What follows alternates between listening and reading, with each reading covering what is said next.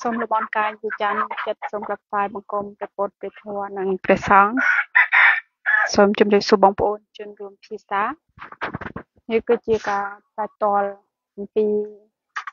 សន្ធិសញ្ញាសន្តិភាពទីក្រុងប៉ារីស្ដីពីកម្ពុជា ដែលធ្វើការផ្សាយរៀងរាល់ម៉ោង5កន្លះរហូតដល់ម៉ោង7កន្លះរៀងរាល់ថ្ងៃថ្ងៃនេះគឺជាវេទិកាសំណួរចម្លើយ ដែលនឹងមានសំណួរពីបងប្អូនជនរួមភាសាហើយពួកខ្ញុំគឺជាអ្នកមានចម្លើយជាអ្នកមានចម្លើយគឺគ្រាន់តែជាការចូលរួមចែករំលែកនៅគំនិតតែបងប្អូនណាដែលអត់ដាក់សំណួរ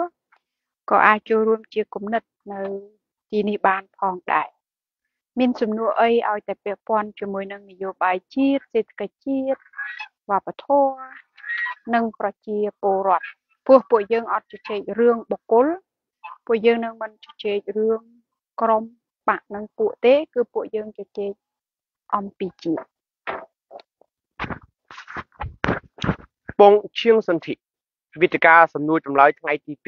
2ដែលពួកខ្ញុំនឹងព្យាយាមធ្វើមួយសប្តាហ៍ពេញពីថ្ងៃ9វិច្ឆិកាមករហូតដល់សប្តាហ៍ក្រោយ វេទិកាសំណួរចម្លើយនេះគឺមានបំណងចង់ឲ្យបងប្អូនរៀនបង្កើតសំណួរទេរៀនបង្កើតសំណួរណាបងដាស្រាំងសុចេពុលិហើយក៏ខ្ញុំនឹងព្យាយាមញែកឲ្យបងប្អូនយល់អ្វីទៅហៅថាសំណួរកើតប្រយោជន៍ជាតិសំណួរកើតប្រយោជន៍បុគ្គលសំណួរកើតប្រយោជន៍បពពួកក្រុមនិន្នាការអីជាដើម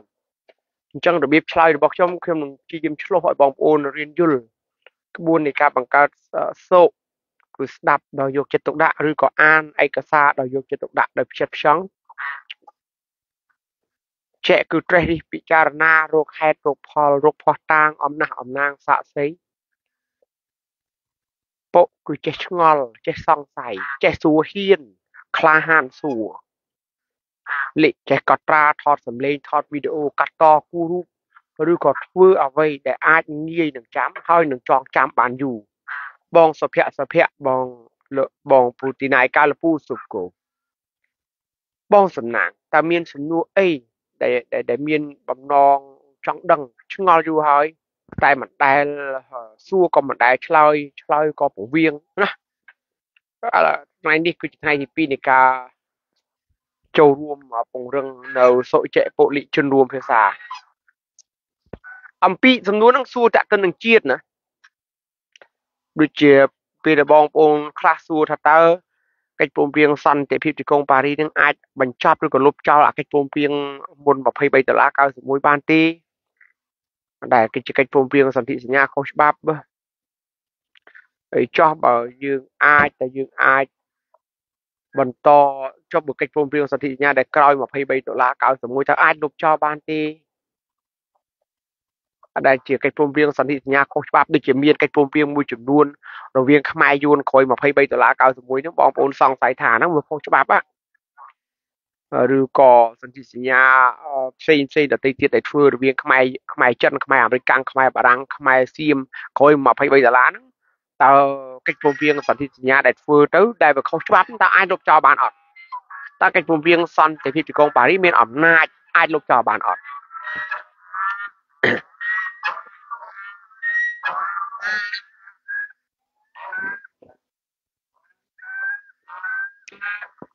វិធីឆាវិធីសាស្ត្រឆ្លើយមានច្រើនណាស់តែខ្ញុំសូមជូន3ណាការប្រជុំអាស៊ានកម្ពុជាជាម្ចាស់ផ្ទះហ្នឹងតើកម្ពុជាបានប្រយោជន៍អ្វីណាទីទៀតឆ្លើយតើកម្ពុជាបានប្រយោជន៍អីពេលដែលធ្វើជាម្ចាស់ផ្ទះអាស៊ានកត់ចំណាំផងបងប្អូនខ្ញុំឆ្លើយចម្លើយ3ចម្លើយទី1តើបងប្អូនជឿច្បាប់ឬក៏មិនជឿច្បាប់ តើបងប្អូនមានម៉ូតូអត់មានលិខិតបញ្ជាក់អឺឬក៏ឯកសារច្បាប់បញ្ជាក់ថាបងប្អូនជាម្ចាស់ម៉ូតូនឹងមានលិខិតបញ្ជាក់ថាបងប្អូនជាម្ចាស់ម៉ូតូមួយណាមានសុវត្ថិភាពជាងបងប្អូនមានផ្ទះសម្បែងមានដីស្រែចម្ការដែលមានលិខិតស្នាមបញ្ជាក់ជាលក្ខលក្ខអសរដែលច្បាប់ទទួលស្គាល់និងគ្មានច្បាប់ទទួលស្គាល់មួយណាបងប្អូនកក់ក្ដៅជាងហើយហើយទុកចិត្តជាង បងប្អូនធ្វើដំណើរនៅលើផ្លូវចរាចរណ៍គោរពច្បាប់និងអត់គោរពច្បាប់មួយណាបងប្អូន មានសុវត្ថិភាពជាងដូចគ្នា ពេលដែលបងប្អូនមកសួរខ្ញុំថាតើកិច្ចព្រមព្រៀងសន្តិភាពទីក្រុងប៉ារីនេះអាចបញ្ចប់សន្ធិសញ្ញាកិច្ចព្រមព្រៀងខុសច្បាប់មុន23ដុល្លារ91រឿងបូរណភាពទឹកដីអធិបតេយ្យឯករាជ្យសន្តិសុខសន្តិភាពជាតិខ្មែរនីតិរដ្ឋប្រជាធិបតេយ្យសេរីភូប៉ៃអាចបញ្ចប់នៅអាអាការបំផ្លាញនៅបូរណភាពទឹកដីអធិបតេយ្យនឹង ការបំផ្លាញឯករាជ្យឯកភាពជាតិនឹងការបំផ្លាញនៅនីតិរដ្ឋនឹងតើអាចបញ្ចប់បានទេតែចម្លើយហ្នឹងគឺចម្លើយទៅងាយបងប្អូនយកទៅពិចារណាហ្នឹងថាបើបងប្អូនសួរអញ្ចឹងថាបងប្អូនជឿច្បាប់ឬក៏មិនជឿច្បាប់បើបងប្អូនមិនជឿច្បាប់អីពួកខ្ញុំបញ្យលដល់តែរួចដាតអស់ក៏គ្មានបានការស្អីដែរអ្នកស្លាប់ណាហើយអ្នកបញ្យលហ្នឹងរត់តែអត់បានការមិនអញ្ចឹងអើបងជួបខំណាឈ្មោះជួបខំ បងដាសៀង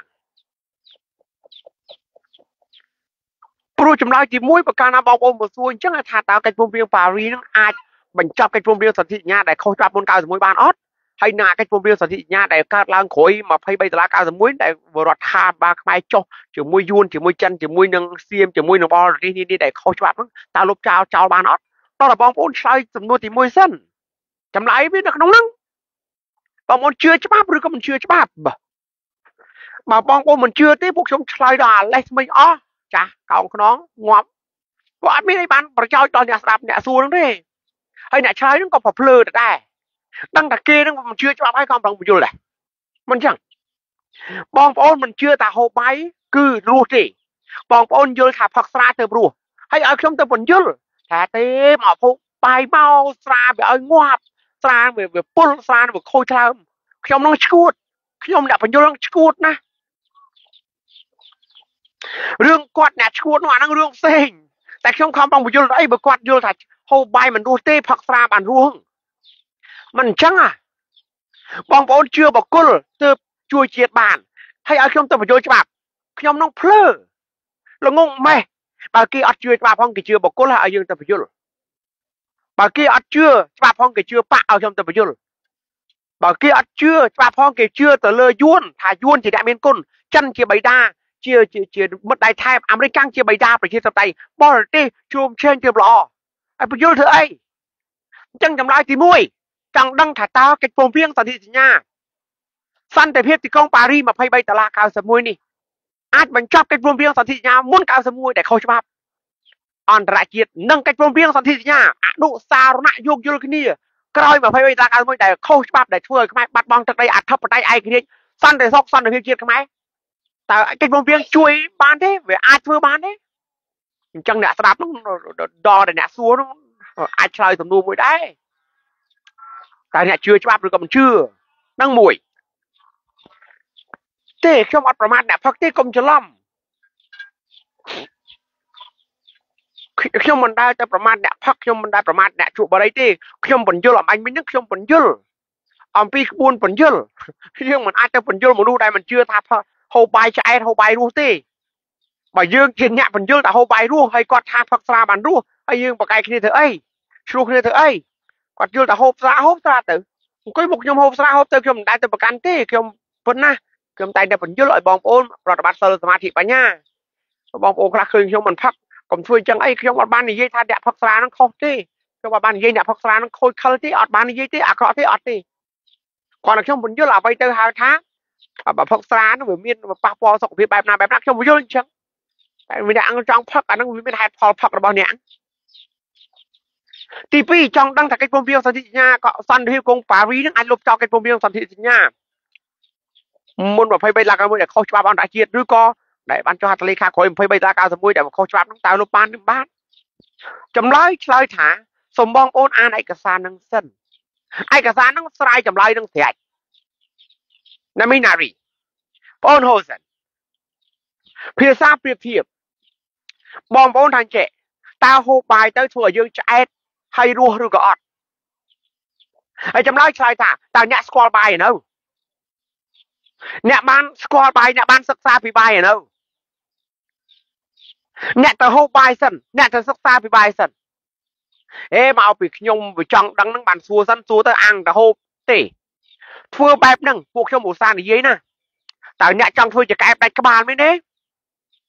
ស្រនថាត្រូវជនរួមភាសាថាត្រូវស្រនថាខុសជនរួមភាសាថាខុសពេលដែលគេបាញ់ស្រនចោលបាត់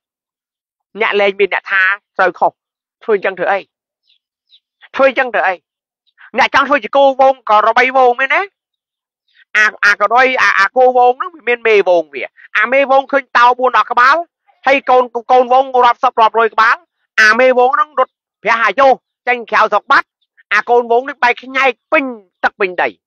អាខ្លះចេះរត់តាមប្រេះប្រាស់ធ្លាក់ជ្រោះងាប់អស់ទៅទៀតរត់ចូលហ្នឹងក៏ពើស៊ីទៅទៀត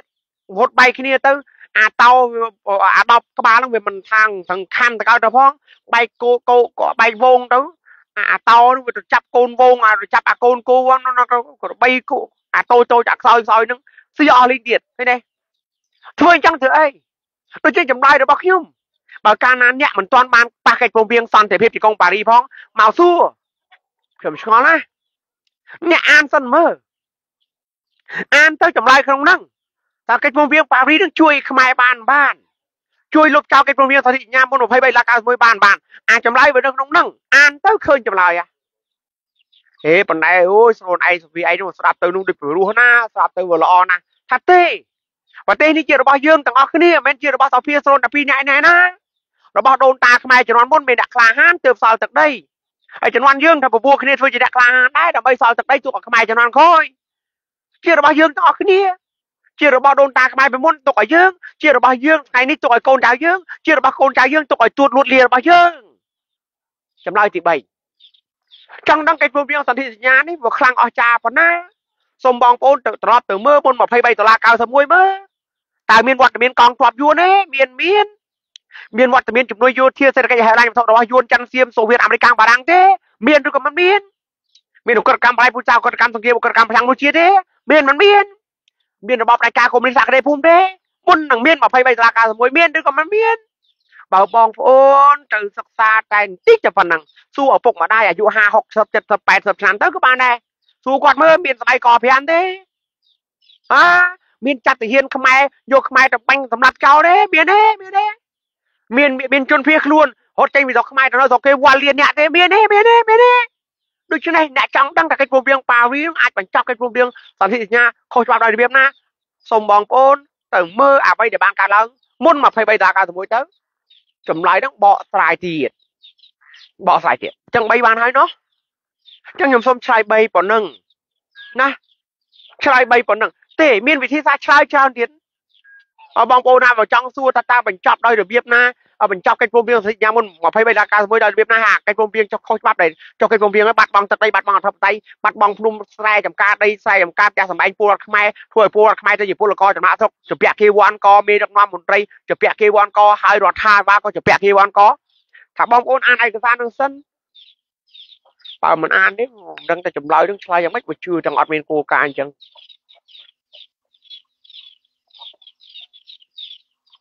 បងបងបងបងជួបខំណាមិនដឹងថាបងមានបំណងអីទេប៉ុន្តែខ្ញុំសូមបញ្ជាក់បងជួបខំបន្តិចណាបើបងចង់ចូលរួមចូលផ្សាយបងខលមកលេខខ្ញុំ0978ក៏បាន0978 23 1091 23ដុល្លារ91ណាឬក៏098 23 1091ចូលទេឬក៏បងអាចខលមកលេខសភាកំពង់កាន់ គឺ085ក៏បាន086ក៏បាន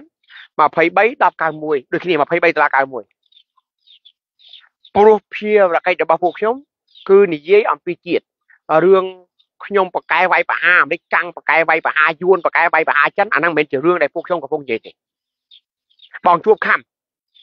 បើបងអាចក្លាហានបន្តិចចូលផ្សាយតែម្ដងមកឬក៏ជួបផ្ទាល់ក៏បានបងនៅខេត្តណា ពួកយើងបើកវេទិកាសាធារណៈទៅបងប្រមូលមនុស្សខ្ញុំទៅក៏បានខ្ញុំប្រមូលមនុស្សបងមកក៏បានបងជួបខំអាចធ្វើបានទេនៅទីនេះគឺទីជជែកអំពីជាតិមិនមែនទីជជែកអំពីលោកហ៊ុនសែនឬក៏លោកសំរងស៊ីលោកខឹមខឹមវាសនាគឹមសុខាមិនមែនជាទីជជែកអំពីបកសង្គ្រោះជាតិ LDP ភ្លើងទៀនសង្សង្កណបកប្រជាជនមិនមែនជជែកគ្នាអំពីរឿងនិន្នាការនយោបាយយួនចិនអាមេរិកបារាំងទៀតទេ ពួកខ្ញុំកំពុងចែករំលែកក្បួននៃការឆ្លើយឆ្លងគ្នាបងជួបខំតើបងចូលផ្សាយឥឡូវបានទេ បងដាក់លេខទូរស័ព្ទមកក៏បានខ្ញុំខលទៅឬក៏បងប្រាប់ថាចូលបានខ្ញុំផ្ញើសារ Messenger ខលបងតាម Messenger ក៏បានតើពាក្យរបស់ខ្ញុំនេះវាយអាមេរិកខ្លាំងណាស់មែនទេបើចង់ដឹងចូលផ្សាយមកនិយាយអីទៅលេងវាយអាមេរិកនិយាយអីលេងវាយយួនលេងវាយចិន និយាយយកច្បាប់មកនិយាយខ្ញុំនិយាយអំពីក្បួននៃការបញ្ចប់ឬក៏លុបចោលកិច្ចព្រមព្រៀងសន្ធិសញ្ញាទាំងឡាយណាដែលខុសច្បាប់មុន91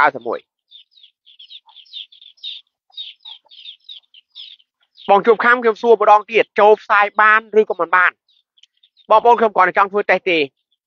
បើបងជួបខំគឺជាកណនីជាមនុស្សកាន់កាប់គឺប្រកាសជាគាត់ចេះឆ្លើយសំណួរតែបើវាជាម៉ាស៊ីនវាជាខ្មោច គឺវានឹងកូពីចម្លងសរសេររឿងដដែលដដែលណាតោះអូនប្រិយស្ទឹងអមាញ់មិញដូចជាមានសំណួរមួយចាមានមានសំណួរមួយពាក់ព័ន្ធតើខ្មែរធ្វើជាម្ចាស់ផ្ទះអាស៊ានមានប្រយោជន៍អ្វីខ្លះជំនួសភាសានេះគឺជាវេទិកាសួរសំណួរហើយនឹងឆ្លើយឆ្លងគ្នាពួកខ្ញុំនឹងធ្វើវេទិកាសំណួរចម្លើយនេះរយៈពេលមួយសប្តាហ៍គឺចាប់រាប់ពីថ្ងៃ9វិច្ឆិកាមក ណាបងអុកសារ៉េមបងអុកសារ៉េមមានសំណួរមួយសំណួរមួយដែលយ៉ាងម៉េចចេះដំណាក់កាលអន្តរកាលមានន័យដូចម្ដេចណាសភាគឺដំណាក់កាលអន្តរកាលមានន័យដូចម្ដេចណាណាណាមុននឹងទៅដល់បងអុកសារ៉េមអឺមានសំណួរខាងដើមដែលនិយាយអំពីអឺតើធ្វើជាប្រធានអាស៊ានធ្វើជាម្ចាស់ផ្ទះអាស៊ានហ្នឹងតើបានប្រយោជន៍អីខ្ញុំឆ្លើយខ្លី3ដែរសុភាអាចបន្ថែមណាទីនេះ ចម្លើយទី1គឺធ្វើឲ្យទំនាក់ទំនងការបរទេសរបស់ខ្មែរគឺលេចធ្លូតែនៅក្នុងកំឡុងបើខ្មែរគ្រាន់តែជាសមាជិកអាស៊ានទូទៅ10ឆ្នាំហ្នឹងក្នុងរយៈពេល9ឆ្នាំហ្នឹងគឺគេអត់ទៅ review របស់យើងទេតែអាពេលដែលចាប់ដើមថាខ្មែរគឺជាប្រធានអាស៊ានហ្នឹងមានប្រទេសនានាហ្នឹងមកលេងខ្មែរមិនជប់ទេអឺរដ្ឋមន្ត្រីក្រសួងការបរទេសអនុរដ្ឋមន្ត្រីក្រសួងការបរទេសឬក៏ប្រធានាធិបតីឬក៏ព្រះមហាក្សត្រឬក៏នាយករដ្ឋមន្ត្រីរបស់ប្រទេសនេះចូលលេងមិនជប់ទេ ហើយបន្ទាប់មកមានការប្រជុំអាស៊ានសាមីត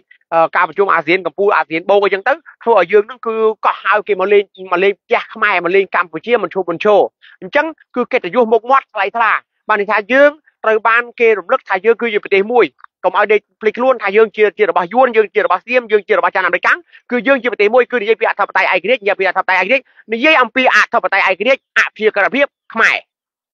ចំណុចទី2 ពេលដែលយើងកាន់តែឲ្យគេមកគឺគេយកលុយមកវិនិយោគគេយកលុយមកវិនិយោគគឺបានន័យថានៅពេលដែលយើងចេះប្រើប្រាស់នយោបាយការបរទេសបានល្អិនបានបានបានបានឆ្អិនចៅមនុស្សបរទេសដែលមកនោះបើព្រោះធម្មតាតែពេលដែលយើងធ្វើវិធានអាស៊ានហ្នឹងគឺគេតែងតែមកហ្នឹងសួរយើងចឹងទៅទៅជែកគ្នាហ្នឹងឲ្យមានកិច្ចពោលព្រៀងសន្ធិញ្ញានានាបង្កើតតំណាក់តំណងទ្វេភាគីតំបន់និងអន្តរជាតិវាកើតទៅជាអការអភិវឌ្ឍជាតិនឹងទី3ពេលដែលមានបរទេសអាពេលដែលយើងធ្វើជាប្រធានអាស៊ានហ្នឹង គឺធ្វើឲ្យយើងមានឱកាសឥឡូវពេលប្រទេសនីមួយនីមួយគេចាប់ផ្ដើមនិយាយអំពីកម្ពុជាអញ្ចឹងប្រទេសមួយមួយនោះប្រទេសសៀមក៏និយាយពីកម្ពុជាប្រទេសយួនប្រទេសម៉ាឡេស៊ីឥណ្ឌូនេស៊ីហ្វីលីពីនសិង្ហបុរីប្រ៊ុយណេប្រទេសអាមេរិកប្រទេសចិននិយាយពីកម្ពុជាអញ្ចឹងគឺជាឱកាសដែលប្រជាជននៃប្រទេសនានានោះស្គាល់កម្ពុជាជាអ្វីកាលដែលយើងមិនទាន់ធ្វើជាប្រធានអាស៊ានគេមិននឹងទៅស្គាល់យើងជួនកាលជនជាតិយួនជនជាតិសៀមនៅក្បែរយើងហ្នឹង គេសួរគេយើងទៅដល់ស្រុកគេហ្នឹងជនជាតិយួនហ្នឹងក៏មិនស្គាល់ថាកម្ពុជាហ្នឹងជាអីទៅផងអ្នកអត់រៀនសូត្រណាឥឡូវដូចតែខ្មែរយើងចឹងក៏និយាយពីគេនិយាយពីខ្មែរយើងមានខ្មែរខ្លះអត់ដឹងថាប្រុយណេហ្នឹងនៅស្អីគេផងប្រុយណេដាក់រូសាឡឹមអីគេផងទីម៉ាឡេស្តេហ្នឹងស្អីគេផងយើងអត់ដឹងដូចគ្នាអញ្ចឹងការដែលយើងធ្វើជាប្រធានប្រូវីននេះវាធ្វើឲ្យជនជាតិដទៃស្គាល់ពីយើងចំណុចចុងក្រោយកម្ពុជាក្រមកម្ពុជាលើមិនថាអីជូន4កម្ពុជាក្រមកម្ពុជាលើមានទឹកមាត់លេបពេលដែលខ្មែរកាន់តែធ្វើជាប្រធានអាស៊ាន កម្ពុជាក្រមចាប់ដើមអញព្រោះព្រោះមានខ្មែរកម្ពុជាក្រមមួយចំនួនអត់ដឹងថាកម្ពុជាកណ្ដាលជាអាណាទៅដែរកម្ពុជាលើក៏ចឹងដែរខ្មែរលើអត់ដឹងថាកម្ពុជាកណ្ដាលជាអីដែរចឹងការអាស្រ័យអំពីកម្ពុជាអញគេនិយាយភាសាខ្មែរដូចអញមែនហ៎អញ្ចឹងខ្មែរសរិនអញនោះគេនិយាយភាសាខ្មែរអូគេនិយាយភាសាដូចអញដែរនៅនៅនៅសៀមគាត់យល់ថាគាត់ជាជនជាតិដើមពេតិចអញ្ចឹងគាត់យល់តែប៉ុណ្្នឹងទេជនជាតិសៀមមិនប្រកាសថានិយាយប្រវត្តិសាស្ត្រឬក៏បង្រៀនប្រវត្តិសាស្ត្រមកដល់ខ្មែរទេហើយនៅក្រមអាណានិគមសៀមជិត100ឆ្នាំទៅហើយខ្មែរតាំងពី1907មក អេ100ឆ្នាំជាង110ឆ្នាំ113ឆ្នាំទៅហើយអញ្ចឹងការដែលនៅក្រោមអាណានិគមសៀម100ឆ្នាំទៅហើយអញ្ចឹងវាប្រហែលជំនាន់ប្រហែល2ទៅ3ជំនាន់ដែរអញ្ចឹងអាចជំនាន់ទី3នេះវាអត់ទៅស្គាល់ខ្មែរអញ្ចឹងពេលដែលអញគេនិយាយខ្មែរឃើញយល់អត់ប្រៃហ៊ុនសែនគាត់និយាយខ្មែរដែរដល់ពេលគាត់និយាយខ្មែរអើជនជាតិខ្មែរខ្មែរលើហើយនឹងខ្មែរក្រមកូនខ្មែរក្រមគេថតដាក់ដាក់ទូទួយួនឲ្យឲ្យមើលអញអ្នកនឹងនិយាយភាសាខ្មែរនេះគឺជាការចំណេញសុភាមានចំណេញអីទៀតទេមុននឹងចូលដល់សំណួរបន្ទាប់ បងប្អូនជនរួមភាសាខ្ញុំគិតថារយៈពេលវែងឆ្ងាយដែលជាផលចំណេញដែលយើងមិនអាចមើលឃើញភ្លាមភ្លាមតែគិតថាវាក៏ជាការចំណេញដែរនៅពេលដែលខ្មែរគឺជាម្ចាស់ផ្ទះនៃការរៀបចំអាស៊ានពីព្រោះ10ឆ្នាំគឺមានម្ដងដែលយើងអាចធ្វើជាម្ចាស់ផ្ទះអាស៊ាន វាក៏ជាឱកាសនៃការដែលបើកឲ្យយើងបានរកខ្មែរឃើញរកខ្មែរឃើញនេះគឺសំដៅទៅដល់ ខ្មែរកណ្ដាលសំដៅទៅដល់ខ្មែរក្រោមសំដៅទៅដល់ខ្មែរលើយើងអាចរកគ្នាឃើញតាមរយៈអាស៊ានតាមរយៈប៉ុស្តិ៍អាស៊ាននេះបានពីព្រោះនឹងហើយដែលខ្ញុំថាវាគឺជារយៈពេលវែងឆ្ងាយដែលជាផលប្រយោជន៍គឺពួកយើងអាចរកគ្នាឃើញខ្មែរក្រោមខ្មែរកណ្ដាលនិងខ្មែរលើបើយើងអាចរកគ្នាឃើញជំហានដំបូងរបស់ពួកយើង គឺយើងចាប់ផ្ដើមចេះទំនាក់ទំនងស្គាល់គ្នា និងពួកយើងអាចចាប់ផ្ដើមបែងអាចចាប់ផ្ដើមចេញពីសេដ្ឋកិច្ចទៅមុនពីព្រោះយើងយកវេទិកាអាស៊ានមកនិយាយពួកអាស៊ានក៏គេនិយាយរឿងសេដ្ឋកិច្ចអាស៊ានក៏គេនិយាយរឿងវប្បធម៌អញ្ចឹងពួកយើងខ្មែរក្រោមខ្មែរកណ្ដាលនិងខ្មែរលើគឺនឹងអាចយកប៉ុស្តិ៍នេះយកប៉ុស្តិ៍អាស៊ានជាការបង្កើតជាការផ្លាស់ប្ដូរជាការស្គាល់គ្នារវាងខ្មែរក្រមខ្មែរកណ្ដាលនិងខ្មែរលើជាពិសេសគឺការចាប់ផ្ដើមចេញពីវប្បធម៌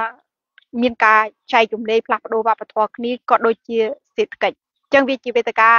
បើយើងទៅណាត់រកគ្នាខ្មែរក្រមខ្មែរកណ្ដាលខ្មែរលើគឺប្រហែលជាយើងត្រូវបង្កើតកម្មវិធីអីថ្មីតែនេះគឺអាស៊ានមានដូចជាស្ដេចដែលយើងគ្រាន់តែរកវិធីនៅក្នុងការភ្ជាប់គ្នាភ្ជាប់គឺអក្សរនិងភាសាខ្មែរដែលយើងអាចយកភ្ជាប់គ្នាជារយៈពេលវែងឆ្ងាយគឺវប្បធម៌សេដ្ឋកិច្ចរយៈពេលវែងឆ្ងាយទៅមុខទៀតគឺយើងអាចនិយាយគ្នាអំពីច្បាប់កិច្ចព្រមព្រៀងសន្តិភាពទីក្រុងប៉ារីដោយផ្ទាល់បើទោះបីជានៅទីនេះក៏យើង បានជជែកគ្នាពោះមានខ្មែរក្រោមគឺកំពុងតែអង្គុយស្ដាប់កិច្ចព្រមព្រៀងសន្តិភាពទីក្រុងប៉ារីនឹងដែរបងសណ្ដានខា KH បងពូទីណាឯកាមានសំណួរមួយទៀតរបស់នរណាអញ្ចេះសំណួរមួយទៀតគឺពាក់ព័ន្ធជាមួយនឹងអឺដំណាក់កាលអន្តរកាលតែបានភ្លេចមកម្ចាស់សំណួរ បងប្អូននេះគឺជាវេទិកាសំណួរចម្លើយឥឡូវមានម្ចាស់សំណួរខ្ញុំភ្លេចក៏ក៏ភ្លេចអគ្គរនីដែលជាម្ចាស់សំណួរដែរណាបងរក្សាកំពុងឆ្នាំងម្ចាស់សំណួរសួរថាអ្វីទៅដំណាក់កាលអន្តរកាល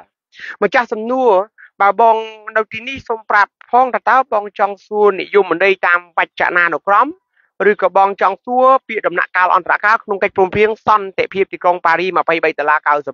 91ពិបាកបញ្យលបន្តិចពីព្រោះ ការដែលបងប្អូនដាក់តែដំណាក់កាលអន្តរកាលអញ្ចឹងហើយនៅទីនេះថ្ងៃនេះគឺយើងអត់បាននិយាយថាយើងផ្ដោតតែទៅលើកិច្ចព្រមព្រៀងប៉ារីគឺជាសំណួរចម្លើយទូទៅនិយាយពីជាតិខ្មែរចឹងបើម្ចាស់សំណួរនៅជួយបញ្ជាក់ផងតើតើបងចង់ឲ្យពួកយើងបញ្យលអ្វីទៅដំណាក់កាលអន្តរកាលក្នុងន័យទូទៅឬក៏នៅក្នុងន័យកិច្ចព្រមព្រៀងសន្តិភាពទីក្រុងប៉ារីបើនៅក្នុងន័យទូទៅ អន្តរកាលកាលគឺពេលវេលាកាលៈហ្នឹងណាកាលៈទេសៈហ្នឹងណាកាលណាវេលាណាកាលណាណាកាលក៏សាលោកាលហ្នឹងវេលាអន្តរៈហ្នឹងគឺដែលវាឆ្លងគ្នាដែលវាឆ្លងអន្តរៈណាដូចជាប្រើពាក្យថាអន្តរជាតិគឺជាតិពីរដែលមានទំនាក់ទំនងគ្នាជាតិ3ជាតិ4ជាតិ10ជាតិ100ទំនាក់ទំនងគ្នាហៅថាអន្តរជាតិគឺជាតិនានាបង្កើតទំនាក់ទំនងគ្នាហៅថាអន្តរៈអន្តរៈបូកនឹងកាលៈ អបងអុកសារ៉េមយល់ចាំហើយណាមកចឹងបងសួររឿង23ដុល្លារបានអន្តរកាលក្នុងក្នុងដំណាក់កាលអន្តរកាលក្នុងកិច្ចព្រមព្រៀងសន្តិភាពទីក្រុងប៉ារី23ដុល្លារ91ចឹងខ្ញុំជ្រុលដល់បញ្យលរឿងនិយមន័យពាក្យទូទៅទៅហើយសូមក្រុមសារទី2របស់ន័យទូទៅអន្តរកាលបើនៅក្នុងដំណើរការសង្វាក់ផលិតកម្មអន្តរកាលគឺជាការបំលែងវត្ថុធាតុដើមឲ្យទៅជាផលិតផលសំរេច គឺដំណាក់កាលនីមួយនីមួយដែលបំលែងអ្វីមួយឲ្យទៅជារបស់មួយដែលអាចប្រើប្រាស់បានដូចជាយើងយកដំឡូងមីដកមកលាងមកកាប់ហាលឲ្យស្ងួតទៅចូលក្នុងម៉ាស៊ីនម៉ាស៊ីននឹងកិនទៅជាដុំសុកខ្នោសុកខ្នុលដែលយើងយកទៅស្លចំនួនប៊ីចេងឬក៏ធ្វើជាប៊ីចេងក៏បានឬក៏ធ្វើជាម្សៅមីដែលលាយជាមួយនឹងសារជាតិមួយចំនួនកើតទៅជាម្សៅមីបានឡាក់ ពេលដែលវាទៅជារបស់ប្រើប្រាស់អាដំណាក់កាលតាំងពីចាប់ដើមរហូតដល់កើតទៅជាផលិតផលមួយហៅថាអន្តរកាលតោះចូលនៃកិច្ចព្រមព្រៀងសន្តិភាពទីក្រុងប៉ារីសសូមកត់ណាខ្ញុំចែកតែ3ទេឲ្យតែសំណួរចម្លើយខ្ញុំព្យាយាមឆ្លើយតែ3ព្រោះចង់ឆ្លើយឲ្យខ្លីចាប់យកតែគំនិតអ្វីទៅអន្តរកាលចំណុចទី1អន្តរកាលគឺជាការកាត់ផ្ដាច់នៅរបបនយោបាយអតីតកាលនិងព្រឹត្តិការណ៍អតីតកាលដែលបានកើតឡើងមុន23ដុល្លារ91ហ្នឹងបងកត់ទាន់ទេបង អុកសារ៉េមអុកសារឹមបងភ្លឺចេញពីងងឹតឲ្យបញ្យលពាក្យជាតិណាសភាចាំបញ្យលពាក្យជាតិចង់អន្តរកាលនៃទី1គឺជាការបញ្ចប់ឬក៏កាត់ផ្ដាច់នៅរបបអតីតកាលនិងនយោបាយព្រឹត្តិការណ៍ដែលបានកើតឡើងនៅមុន23តុលា91ឧទាហរណ៍ របបនយោបាយអតីតកាលគឺរបបផ្ដាច់ការកុម្មុយនីសសហរដ្ឋភូមិនិងរបបលើកបន្ទប់ដោយយួនលើកបន្ទប់ដោយយួនសូវៀតលើកបន្ទប់ដោយយួនចិនសូវៀតលើកបន្ទប់ដោយចិនលើកបន្ទប់បន្ទប់ដោយអាមេរិកលើកបន្ទប់ដោយបារាំងឬក៏ហៅថារបបអាយ៉ងអាយ៉ងអាយ៉ងយួនអាយ៉ងយួនសូវៀតអាយ៉ងចិនអាយ៉ងបារាំងអាយ៉ងអាមេរិកអាយ៉ងបរទេសគឺកាត់ផ្ដាច់លុបចោលរំសាយកងទ័ពនឹងចោលរំសាយចលនានឹងចោលរំសាយរបបឬក៏រដ្ឋបាលដឹកនាំនឹងចោល បញ្ចប់នៅព្រឹត្តិការណ៍ដិតការគឺព្រឹត្តិការណ៍អកតកម្មបល័យពុយសាសគឺការសម្លាប់រង្គាលពុយសាសខ្មែរបណ្ដេញពលរដ្ឋខ្មែរឲ្យចេញទៅជាជនភៀសខ្លួនជនផ្លាស់ប្ដូរទីកន្លែងទៅដល់ស្រុកសៀមទៅដល់ប្រទេសទី2ទី3បញ្ចប់នៅព្រឹត្តិការណ៍ដិតការគឺព្រឹត្តិការណ៍នៃអកតកម្មប្រចាំមនុស្សជាតិគឺធ្វើជារនកម្មប្រឆាំងនឹងស្ត្រីប្រឆាំងនឹងកុមារប្រឆាំងនឹងជនពិការប្រឆាំងនឹងចាស់ជរាសម្រាប់មនុស្សមិនរើសមុខទេមិនថាជាតិស្អីពណ៌សម្បុរអីគឺ ធ្វើជារនកម្មចំពោះមនុស្សដែលអត់មានអាវុធនៅនឹងដៃហៅថាអកតកម្មប្រឆាំងមនុស្សជាតិបញ្ចប់នៅអកតកម្មសង្គ្រាមគឺការដែលយួនថាមកជួយសង្គ្រោះខ្មែរតែដុតសាលារៀនដុតវត្តអារាមដុតផ្សារខ្មែរដុតផ្ទះខ្មែរបំផ្លាញវត្តខ្មែរសាលារៀនទីប្រជុំជនខ្មែរនោះហៅថាសង្គ្រាមអកតកម្មយួនថាមកសង្គ្រោះខ្មែរតែសម្រាប់តែពលរដ្ឋអត់ធ្វើសង្គ្រាមប្រឆាំងនឹងយោធាដូចគ្នាទេបើធ្វើសង្គ្រាមប្រឆាំងយោធាអត់ហៅអ ுக ្រិតកម្មសង្គ្រាមទេ ចិនថាមកជួយខ្មែរចិនថាមកជួយខ្មែរថាមកជួយខ្មែរតែมันបានមកដេញយួនដេញយួនដេញយួនដោយគាត់ថាទេគឺបែរទៅជាមកសម្រាប់ខ្មែររង្គាល3ឆ្នាំ8ខែ8ថ្ងៃហើយមកសម្រាប់ថាដេញយួនដេញយួនបណ្តែសាប់ខ្មែរវល់លៀននោះហៅថាអ ுக ្រិតកម្មសង្គ្រាមអាមេរិកថាសង្គ្រោះខ្មែរសង្គ្រោះខ្មែរសង្គ្រោះខ្មែរទម្លាក់ក្របបែកបំផ្លាញផ្ទះខ្មែរប្រមាណជា2លានខ្នងសម្រាប់ពលរដ្ឋជាពលរដ្ឋខ្មែរវត្តអារាមសាលារៀនបំផ្លាញហេដ្ឋាអរចនាសម្ព័ន្ធជាតិនោះហៅថាអក្រិតកម្មសង្គ្រាម តើនេះទេបើយួនមកសង្គ្រោះខ្មែរកុំឲ្យខ្មែរស្លាប់អានឹងទើបហៅថាសង្គ្រោះបើចិនយួនអាមេរិកបារាំងសៀមបរទេសនេះនេះថាមកសង្គ្រោះខ្មែរគឺខ្មែរមិនអាចស្លាប់ហើយទឹកដីខ្មែរក៏មិនរួញដែរតែបើកាលណាពួកគេមកថាសង្គ្រោះយើងតែខ្មែរស្លាប់មិនឈប់នោះអត់ហៅថាអត់ហៅថាសង្គ្រោះទេអញ្ចឹងចំណាយចម្លើយទី1អន្តរកាលគឺជាការបញ្ចប់នៅរបបនយោបាយនិងព្រឹត្តិការណ៍ដិតកាលទី2គឺជាដំណាក់កាល បង្កើតរដ្ឋាភិបាលខ្មែរថ្មីមួយឲ្យប្រជាពលរដ្ឋខ្មែរក្លាយជាម្ចាស់នៃប្រទេសតាមរយៈការរៀបចំការបោះឆ្នោតដោយសេរីនិងត្រឹមត្រូវបង្កើតបានសហភាពធម្មនិញបង្កើតច្បាប់រដ្ឋធម្មនុញ្ញប្រជាធិបតេយ្យសេរីភូប៉បន្ទាប់មកបង្កើតអំណាចនីតិបញ្ញត្តិអំណាចនីតិប្រវត្តិអំណាចតុលាការដើម្បីដឹកនាំប្រទេសហើយឲ្យពលរដ្ឋចូលរួមបោះឆ្នោតដើម្បីកំណត់ជោគវាសនានយោបាយជាតិគឺឲ្យពលរដ្ឋខ្លាយជាពលរដ្ឋសកម្មពលរដ្ឋនីតិរដ្ឋពលរដ្ឋឯកតនិយម ដើម្បីធ្វើជាម្ចាស់ប្រទេសខ្លួនឯងខ្លាយទៅប្រទេសមួយជាប្រទេសដែលមានឯករាជ្យបូរណភាពទឹកដីជាប្រទេសដែលមានអធិបតេយ្យឯករាជ្យជាប្រទេសដែលប្រជាពលរដ្ឋមិនរត់ចេញពីប្រទេសឬក៏ត្រូវបានគេកាប់សម្លាប់ឧក្រិដ្ឋកម្មប្រឆាំងមនុស្សជាតិឧក្រិដ្ឋកម្មបល័យភាសាឧក្រិដ្ឋកម្មសង្គ្រាមដូចមុន91ទេកលឹះនេះពួកខ្ញុំបញ្យលរហូតដល់ជាង1000ថ្ងៃហើយឥឡូវយកមកសង្ខេបពី3នាទីនេះសុំទោសខ្ញុំមិនដឹងថាតើជួយម្ចាស់សំណួរបានប៉ុណ្ណាទេ ប៉ុន្តែថ្ងៃនេះគឺជាវេទិកាសំណួរចម្លើយគឺឆ្លើយតាមសំណួរសំណួរសួរថាអ្វីទៅអន្តរកាលអញ្ចឹងខ្ញុំឆ្លើយអ្វីហើយធ្វើយ៉ាងម៉េចជើអន្តរកាលដើរអានឹងអត់សួរផងអត់ឆ្លើយទេណាអញ្ចឹងអន្តរកាលគឺជាការបង្កើតរដ្ឋាភិបាលកម្ពុជាថ្មីមួយដែលជារដ្ឋាភិបាលប្រជាធិបតេយ្យសេរីភូប៉ាដឹកនាំដោយអំណាចនីតិបញ្ញត្តិអំណាចនីតិបដិបត្តិអំណាចតុលាការហើយប្រជាពលរដ្ឋគឺជាម្ចាស់នៃអំណាចទាំងអស់នោះឡាឡាឡាមកនេះ ចំណាយទី3មានចំណាយច្រើនប៉ុន្តែថ្ងៃនេះជូន3ទេអ្វីទៅអន្តរកាលអន្តរកាលគឺជាការបង្កើតឲ្យបានប្រទេសកម្ពុជាមួយដែលមានការធានាជាអន្តរជាតិក្នុងការការពារបូរណភាពទឹកដីក្នុងការការពារអធិបតេយ្យឯករាជ្យក្នុងការការពារអព្យាក្រឹតនិងឯកភាពជាតិខ្មែរជានិរន្តរ៍ ដែលធានាដល់ការកសាងនិងការស្ដារប្រទេសកម្ពុជានៅពេលអនាគតអន្តរកាលគឺជាការបង្កើតនៅប្រព័ន្ធបង្កើតនយោបាយក្នុងការធានាអនាគតកម្ពុជាជាប្រទេសដែលមានបូរណភាពទឹកដីឯករាជ្យមានអធិបតេយ្យឯករាជ្យជាប្រទេសដែលមានអធិបតេយ្យអព្យាក្រឹតនយោបាយអព្យាក្រឹតឯករាជ្យឯកភាពជាតិហើយនឹងត្រៀមទុកឲ្យខ្មែរបានស្ដារនិងកសាងកម្ពុជាឡើងវិញផងប្អូនអៀងស្រីវី បងប៊ុនមីថៅហេតុអ្វីប្រើពាក្យជនរួមភាសាអាមេរិកមិនប្រើជនរួមជាតិណាតិចទៀតខ្ញុំនឹងឆ្លើយបងប៊ុននីថៅឥឡូវសូមឲ្យសុភាឆ្លើយសំណួររបស់បងម្នាក់សំណួរដែលគាត់សួរថាអ្វីទៅហៅជាតិសូមជួយបងប្អូនជនរួមភាសា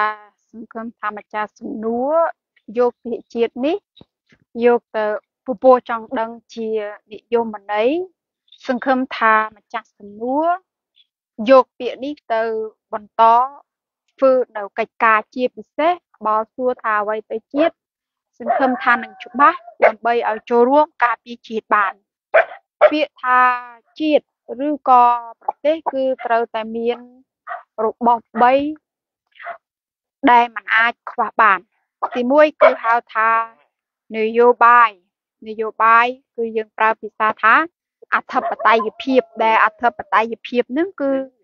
នយោបាយក្នុងប្រទេស និងនយោបាយក្រៅប្រទេស នយោបាយក្នុងប្រទេស គឺត្រូវតែធ្វើទៅតាមបែបបទច្បាប់របស់ប្រទេសនឹងបើខ្មែរគឺមានអំណាច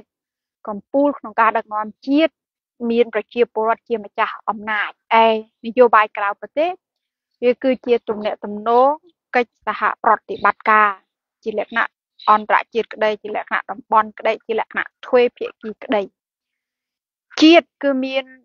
បូរណភាពព្រំដែនទឹកគោកនិងអាកាសព្រោះមានបូរណភាពព្រំដែនទឹកគោកអាកាសទើបអាចរៀបចំធ្វើនយោបាយបានទើបអាចឲ្យពលរដ្ឋរបស់ប្រទេសនឹងរស់នៅបាន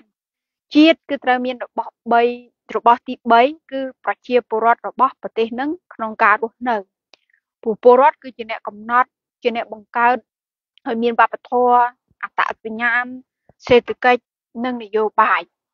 ដូច្នេះជាតិគឺត្រូវមានរបស់ទាំង3នេះដែលมันអាចខ្វះបានมันអាចបាត់មួយណាมันអាចបាត់សូម្បីតែមួយគឺអធិបតេយ្យភាពគឺបូរណភាពគឺប្រជាពលរដ្ឋ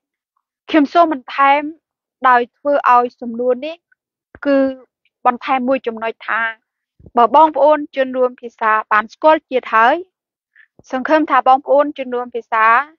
បានយកទៅពិចារណាហើយជាពិសេសអ្នកដែលស្រឡាញ់ជាតិថាតើអ្វីដែលនឹងអាចយកទៅការពារជាតិបានអ្វីដែលអាចយកទៅការពារនយោបាយអ្វីដែលអាចយកទៅការពារបូរណភាពរំលែនទៅគោកអាកាសអ្វីដែលប្រជាពលរដ្ឋអ្វីដែលយកទៅការពារប្រជាពលរដ្ឋហើយការពារដោយសន្តិវិធីដោយនីតិវិធីដោយខ្ញុំបន្ថែមថាគឺច្បាប់ទើបអាចការពារទាំងនយោបាយទាំងបូរណភាពរំលែនទៅគោកនិងអាកាស និងប្រជាពលរដ្ឋដោយសារតែនេះហើយទើបធ្វើឲ្យពួកយើងហើយច្បាប់នឹងទៀតសោតគឺធ្វើឲ្យពួកយើងយកកិច្ចព្រមព្រៀងសន្តិភាពទីក្រុងប៉ារីពីព្រោះជឿថាគឺជាការបង្កើតនយោបាយខ្មែរបូរណភាពព្រំដែនទឹកគោកអាកាសខ្មែរនិងប្រជាពលរដ្ឋធ្វើឲ្យពួកខ្ញុំយករដ្ឋធម្មនុញ្ញយកមកប្រើព្រោះដឹងថាវានឹងអាចការពារជាតិគឺការពារទាំងនយោបាយទាំងបូរណភាពទាំងប្រជាពលរដ្ឋណា បញ្ជាក់លើសសំណួរហើយដែរពោះម្ចាស់សំណួរសួរថាអ្វីទៅជាតិបងប្អូនអាចជួយឆ្លើយសំណួរបងប៊ុនមីប៊ុនមីថាវបានទេមើលទៅជួយជួយឆ្លើយសំណួរនឹងសំណួរស្រោនខ្លះបានទេបងបងបងប៊ុនប៊ុនប៊ុនប៊ុនប៊ុនមីទេគឺប៊ុនណៃប៊ុនណៃថាវបងប៊ុនណៃថាវសួរថាហេតុអ្វីប្អូនប្រើជនរួមភាសា មកដេចមិនប្រើជនរួមជាតិអាចស្នើពួកគេលើកយកច្បាប់កិច្ចព្រមព្រៀងប៉ារីមកធ្វើជា នៅពេលកិច្ចប្រជុំកម្ពុជាឡាយកំមុខធ្វើជាប្រធានបទក្នុងកិច្ចប្រជុំនេះបានដែរទេខ្ញុំមិនទាន់យល់សំណួរបងខៀងហុងទេនៅពេលកិច្ចប្រជុំអាស៊ានកំពុងឡាយតើពលរដ្ឋអាចស្នើ ខ្ញុំមិនយល់សំណួរនឹងទេទេសំណួរហ្នឹងបងសរសេរហ្នឹងខ្ញុំយល់ពាក្យហ្នឹងណាប៉ុន្តែខ្ញុំអត់យល់គុំដុតបងបងចង់សួរពីអីពេលដែលគេកំពុងឡាយបងសរសេរដូចឥឡូវខ្ញុំកំពុងឡាយបងសរសេរទៅដូចជាអត់មានអីខុសទេមិនចឹងឥឡូវខ្ញុំកំពុងឡាយចឹងបងសួរបានទេសួរសួរទៅតែខ្ញុំមិនឆ្លើយអាហ្នឹងក៏បានបងឃើញហងខ្ញុំអត់តន់យល់សំណួរបងទេណាគំនិតដែលបងចង់សួរអាសំណួរហ្នឹងខ្ញុំបានយល់ហើយពួកគាត់ថាពេលដែល អាកាច់ប្រជុំអាស៊ានកម្ពុជាកំពុងឡាយអញ្ចឹងយើងអាចស្នើសុំមកស្នើស្នើទៅអានោះស្នើបាន តែរឿងធម្មតាគេប្រជុំគេត្រៀមទុកមុនមួយឆ្នាំឯណោះហើយយើងមកឥឡូវហ្នឹងមកស្នើឲ្យគេមកប្រជុំរឿងអាស៊ានអញ្ចឹងវាអត់ទៅរួចទេប៉ុន្តែបើឲ្យគេនិយាយបញ្ចុះបញ្ចូលដូចជាពួកខ្ញុំនិយាយពីពី3ថ្ងៃកន្លងមកហ្នឹងណាវិធីសាស្ត្រនៃការផ្ញើសារហ្នឹងអាហ្នឹងផ្សេងអាហ្នឹងផ្សេងទោះបីជាគេមិនប្រជុំកម្ពុជាក៏យើងនៅផ្សារដែរតោះ ឥឡូវបងបណៃថាអើបើនៅជួយប្រាប់ផងបងសួរតែមិនក៏ពួកខ្ញុំប្រើជនរួមភាសាហើយចម្លើយទី1តើបងកំពុងស្ដាប់ភាសាអីខ្ញុំប្រើជនរួមភាសាហើយចោះឥឡូវនេះបងកំពុងស្ដាប់ភាសាអីហើយចោះបងសរសេរភាសាអីខ្ញុំនិយាយខ្ញុំគិតភាសាអីនិយាយចាញ់ហើយចុះបងអ្នកសរសេរគិតភាសាអីនេះសរសេរមកអញ្ចឹងចម្លើយដល់ពិសេសជាងគេទី1ពួកយើងគឺជាពូជខ្មែរ ពួកយើងមានមោទនភាពមានមោទកភាពចំពោះការនិយាយខ្មែរចំពោះការសរសេរអក្សរខ្មែរអញ្ចឹងមូលហេតុដែលប្រើជនរួមភាសាព្រោះយើងលើកដំកើងគេរដូនតាកស្អេនឹងរោមិនមែនរោជើងតស្អេធនគេទេគឺកស្អេរោគេរមរដកវាជាកេដូនតា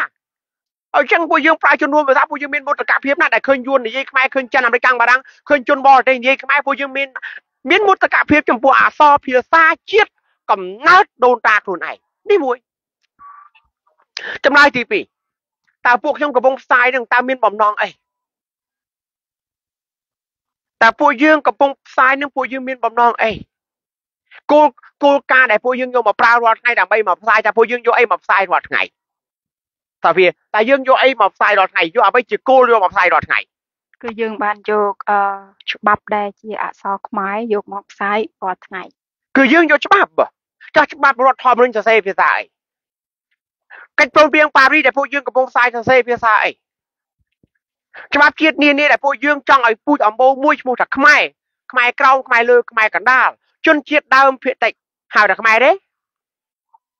ចារាយសូវក្នុងទំពូនប្រងចងកញ្ចក់កបែតព្រឹកគៀងស្ទៀងគួយសួយពណ៌ស្រាក់ចេញពីស្រុកខ្មែរមើលទៅទៅឆ្លងដែនទៅស្រុកគេមើលមើលចាំមើលគេហៅស្អីហឹមមើលចាំជនជាតិភាគតិចនៅពេលដែលអ្នកចេញពីស្រុកខ្មែរទៅនៅធ្វើការងារនៅម៉ាឡេនៅថៃនៅអារ៉ាប់រួមនៅប្រទេសណាក៏ដោយតើគេហៅអ្នកជាណាពួកយើងខ្មែរដូច្នេះមូលហេតុតែពួកយើងប្រើជនរួមភាសាពីព្រោះពួកយើងយល់ថាពូជសាសន៍មួយនេះ គឺមានច្បាប់សរសេរជាភាសាខ្មែរយើងចង់ឲ្យខ្មែរទូទាំងសកលលោក គឺយកច្បាប់ជាគោលដើម្បីចូលរួមជួយជាតិមាតុភូមិ3បងបងមូនីថាវដែលបងសួរមិនក៏មិនប្រើជនរួមជាតិមិនក៏ហៅជនរួមភាសាទៅវិញចម្លើយឆ្លើយថាមុន23ដុល្លារ91ដើម្បីលៀបខ្មែរឲ្យសម្លាប់គ្នាតើគេយកភាសាឯមកលៀបខ្មែរហា គេហៅនោះពួកអានោះពួកចក្រពត្តិអាមេរិកគេយកពីអីទៅនិយាយពាក្យហ្នឹងពួកចក្រពត្តិអាមេរិកភាសាខ្មែរអានេះយួនទេនិយាយភាសាអីខ្មែរអូអានេះចិនទេអានេះបរទេសនេះនួយអានេះអាក្បត់ជាតិទេឡាក់គេយកភាសាអីភាសាខ្មែរដើម្បីលៀបខ្មែរឥឡូវកុំនិយាយឆ្ងាយនិយាយរឿងអាប្អូនវ៉ាន់ដាហើយណាអាប្អូនដេវីតរឿងរ៉េបយកភាសាអីទៅប្រកួតប្រជែងគ្នាទៅប្រកែកគ្នាបង្កើតចំនួនទេ ខ្មែរដូច្នេះដើម្បីលៀបខ្មែរ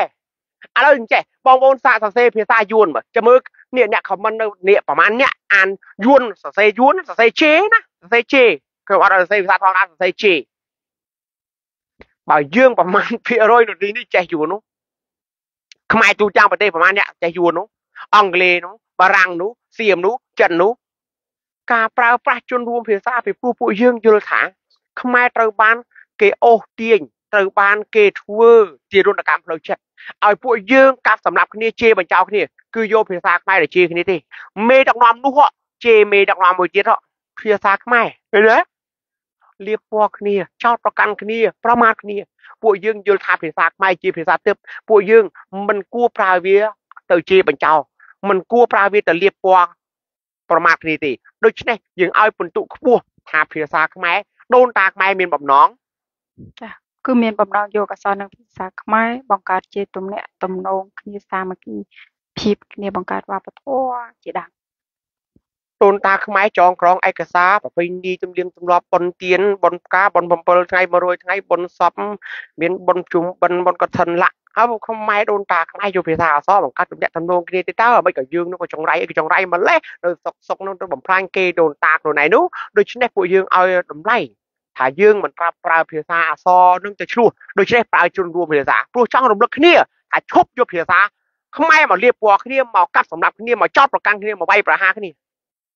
មានច្រើនទៀតតែសុំឆ្លើយចុងក្រោយចុះហេតុអ្វីជនរួមភាសាមិនក៏មិនប្រើជនរួមជាតិវិញហើយពួកខ្ញុំក៏មិនដែរនិយាយថាអ្នកដែលប្រើជនរួមជាតិជនរួមឈាមជ័រហ្នឹងខុសហើយណាអត់អីអត់ទេអត់អត់ប៉ុន្តែពួកខ្ញុំមានហេតុដែលប្រើជនរួមភាសាពួកខ្ញុំប្រើជនរួមភាសា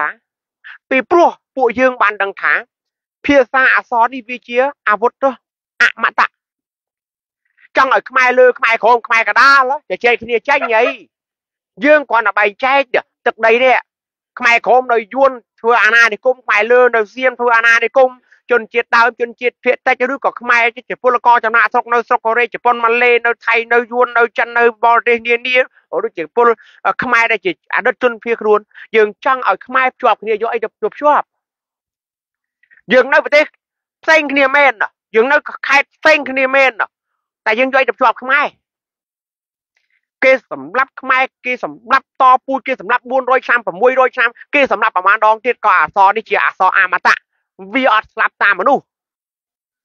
វាអត់ស្លាប់តាមមនុស្សដូច្នេះប្រើជនរួមភាសាព្រោះយើងឲ្យបន្ទុកថារបស់នេះជារបស់ទឹករបស់ទឹកបានវាអត់ចេះរលាយគេរគេរំលាយវត្តខ្មែរគេរំលាយសាសនាខ្មែរគេរំលាយសាលារៀនខ្មែរគេសម្រាប់បណ្ឌិតអ្នកប្រាជ្ញខ្មែរតែភាសាអក្សរខ្មែរអត់រលាយព្រោះវាជាអាវុធទឹក ហើយគេស្គាល់ខ្មែរដោយសារអីគេគូស្គាល់ខ្មែរនៅពេលគេទៅបាងកកគេទៅប្រទេសសៀមប្រទេសយួនប្រទេសឡាវគេទៅមើលផ្ចាំងសិលាចរិតគេឃើញអក្សរខ្មែរគេចាប់ដើមនឹកមករកខ្មែរកដាលសកលលោកមួយទាំងមូលស្គាល់ខ្មែរដោយសារតែសិលាចរិត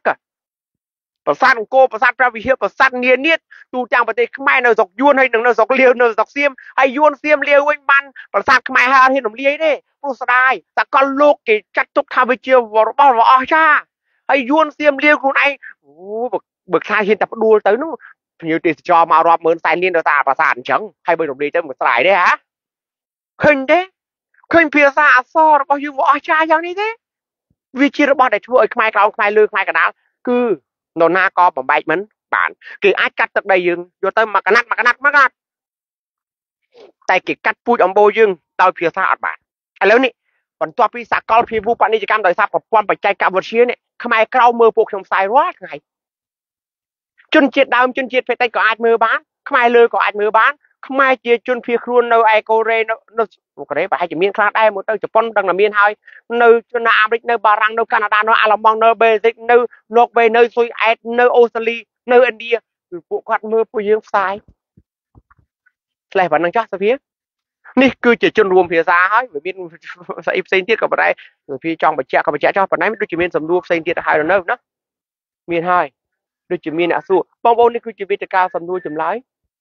ហើយសំណួរបងខៀងហុងដែលសួរខាងដើមគឺខ្ញុំមិនយល់ទេព្រោះក៏បងបងគាត់សួរថាតើយើងអាចនៅពេលគេធ្វើ live អញ្ចឹងយើងអាចស្នើបានទេស្នើស្នើបានប៉ុន្តែរឿងគេធ្វើតាមមិនធ្វើតាមមិនដឹងដែរណាខ្ញុំខ្ញុំពិបាកណាស់ប៉ុន្តែអ្វីដែលយើងធ្វើយុទ្ធសាស្ត្រនោះអានឹងបានវាធ្វើបានតែបើគាត់អាចចុចសរសេរ comment ហ្នឹងអានឹងសរសេរទៅយ៉ាងហោចណាស់ក៏បង្ហាញទឹកចិត្តរបស់យើងដែរណាបងបងគេហុងប៉ុន្តែការ live ម្ដងម្ដងគេ live ទុកគ្រាន់តែជាដំណឹងជាព័ត៌មាននេះ ប៉ុន្តែចេះមានបងបងមួយចំនួនគាត់ផ្ញើសារទៅទូតហើយឃើញទូតផ្ញើសារមកវិញថាអូគេមិនឆ្លើយគេមិនឆ្លើយសារមិនឆ្លើយសារទៅបងប្អូនអស់សង្ឃឹមឈប់ផ្ញើសារកុំភ្លេចផ្ញើទៀតពីព្រោះអាម៉ាស៊ីនអូតូក៏ពិតមែនប៉ុន្តែម៉ាស៊ីននោះគឺវាទូទៅរ៉ាឥឡូវដូចពួកយើងផ្សាយរាល់ថ្ងៃចេះភ័យតែពួកយើងកំពុងផ្សាយអញ្ចឹងទោះឲ្យពួកខ្ញុំមិនបានមើលក៏ដោយខ្ញុំឃើញសារដែលបងប្អូនញ៉ាំមកនឹងឡើងសន្ធឹកសន្ធាប់អញ្ចឹងយ៉ាងហោចណាស់ខ្ញុំទៅអឺតមើលដែរតាមពិតមិនមែនមិនចង់អឺតមើលមិនចង់ឆ្លើយទេ តែទូរស័ព្ទមួយរយៈនេះវាអត់ឲ្យពួកខ្ញុំឆ្លើយតាមសារទៅវិញទេណាអត់ឆ្លើយតាមទូរស័ព្ទបានទេឆ្លើយតាមកុំព្យូទ័រហើយទេពួកខ្ញុំអត់ទៅនៅក្បែរកុំព្យូទ័រដូច្នេះបានពិបាកតើពលរដ្ឋម្នាក់ម្នាក់អាចចូលរួមជួយជាតិដោយវិធីណានៅពេលដែលពលរដ្ឋម្នាក់ម្នាក់អឺអាចចូលរួមជួយជាតិបានដោយរបៀបណាអោះបើវិធីសាស្ត្រសិនណាដោយរបៀបណាបងយ៉ាត់សម្បល់ទៅសំណួរនឹងឆ្លត់ឆ្លើយនឹងក្នុងដែរតែវាអាចជួយបញ្ជាក់បន្តិចចុះណាឬក៏មានសំណួរអ្នកដទៃសិនបងប្អូនជនវិសាខ្ញុំ ឆ្លើយខ្លះខ្លះចោះពាក់ព័ន្ធនឹងនេះពាក់ព័ន្ធនឹងសំណួរនេះតើពលរដ្ឋខ្មែរអាចជួយជាតិដោយរបៀបណា ពីព្រោះការយករបស់ណាធ្វើជាគោលគឺយើងមានខុសៗគ្នា តែខ្ញុំសូមធ្វើការចែករំលែកនៅក្នុងជំហរថា ការអាចចូលរួមការពារជាតិបាន ដោយយកច្បាប់ធ្វើជាគោលបងប្អូនផ្សេងគឺគាត់អាចមានជំនឿ ផ្សេងផ្សេងគ្នាគាត់អាចមានជំនឿទៅលើបកគាត់អាចមានជំនឿទៅលើបុគ្គលណាម្នាក់ថាបើគាត់ទ្រទ្រង់បុគ្គលនោះ គឺជាការចូលរួមការពារជាតិតែខ្ញុំសូមឆ្លើយនៅក្នុងជំហរយកច្បាប់ទៅការពារជាតិចុះជួយជាតិដោយរបៀបណារៀនច្បាប់គ្រាន់តែបងប្អូនជនរួមភាសារៀនច្បាប់យកសិភៅច្បាប់ដើរតាម ទៅឃុំសង្កាត់ ឬក៏ប្រើប្រព័ន្ធតុលាការចេះយកឯកសារច្បាប់ដើរតាម គឺអំណាចនឹងចាប់ផ្ដើមកើតឡើងទោះបីយើងមិនទាន់យកច្បាប់យកទៅតវ៉ាយកច្បាប់យកទៅវេញែកអំណាចដែលបានកើតឡើងគឺត្រង់ថាអីបើយើងពីមុនអត់ចេះច្បាប់ទេអត់រៀនច្បាប់ទេគេនិយាយមកគ្រាន់តែគិតថាខុសប៉ុន្តែសួរថាត្រូវយ៉ាងម៉េចអត់ដឹងឬក៏មួយទៀត ពេលដែលយើងអត់បានរៀនច្បាប់ទេមេដឹកនាំនយោបាយឬក៏មន្ត្រីនិយាយយើងអត់មានអ្វីជាមូលដ្ឋាននៅក្នុងការពិចារណាទេ គឺបើគេធ្វើប្រជាពិធដ្ឋយើងនឹងចាញ់អធិពលឬក៏ជឿគេជឿនៅពាក្យប្រជាពិធដ្ឋហ្នឹងតែពេលដែលយើងចាប់ផ្ដើមរៀនច្បាប់ ចេះធ្វើការពិចារណាដឹងខុសដឹងត្រូវនេះគឺជាកត្តា មួយថាយើងចាប់ផ្ដើមខ្លាយទៅជាពលរដ្ឋហើយមិនមែនជាប្រជាជនទេព្រោះពលរដ្ឋគឺជាកម្លាំងរបស់ប្រទេសកម្លាំងដែលចេះដឹងយល់ពីការដឹកនាំជាតិអញ្ចឹងទី1ជ្រៀតច្បាប់គឺអាចចូលរួមជួយជាតិបាន ទី2គឺរៀនធ្វើការអឺធ្វើជាប្រជាពលរដ្ឋឯកតនាមធ្វើជាប្រជាពលរដ្ឋនីតិរដ្ឋធ្វើជាប្រជាពលរដ្ឋសកម្ម ប្រជាពលរដ្ឋឯកតនាមគឺជាពលរដ្ឋដែលសម្រាប់ចូលកវាសនាអនាគតនយោបាយជាតិពលរដ្ឋនីតិរដ្ឋគឺដើម្បីធ្វើជាដើម្បីធ្វើឲ្យខ្មែរគឺជាប្រទេសមួយដែលប្រកាន់នៅច្បាប់ឬក៏យកច្បាប់យកមកធ្វើជាគោលបើមិនដូច្នោះទេ គឺมันអាចឲ្យការដឹកនាំនេះគឺជាការដឹកនាំមួយដែលរីកចម្រើនទេបើអត់យកច្បាប់ធ្វើជាគោលបើយកក្រមបក ពួក ឬក៏ទៅជាពុករលួយ ជាគោលឬក៏យកអំណាចកម្ពុជាទាំង3ទៅបំរើបុគ្គលណាម្នាក់នោះគឺมันអាចធ្វើឲ្យជាតិអភិវឌ្ឍបានទេអញ្ចឹងគឺធ្វើជាប្រជាពលរដ្ឋនីតិរដ្ឋមួយទៀតចង់ចូលរួម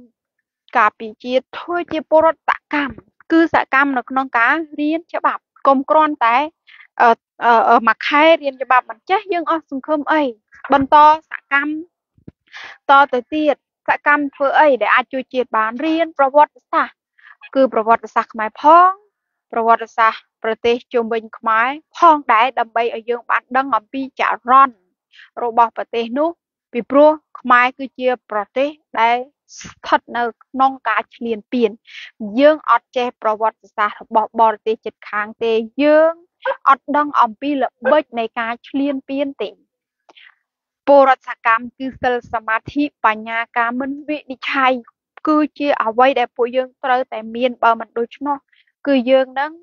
រងនៅជំងឺបាក់ស្បាតពីចំនួនឪពុកម្ដាយរបស់យើងដែលគាត់ធ្លាប់រងការដឹកនាំតាមបែបគុំលីបឯកាសក្តិភូមិហើយខ្លាចការធ្វើនយោបាយជាតិយល់ច្រឡំទៅលើការធ្វើនយោបាយជាតិខ្ញុំសូមឆ្លើយតែពីប្រព័ន្ធហ្នឹងថា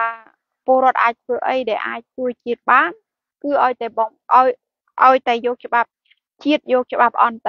រជាតិដំណើរការនីតិវិធីធ្វើជាគោលបងប្អូនអាចធ្វើជាសកម្មភាពបានច្រើនណាស់តែខ្ញុំឲ្យ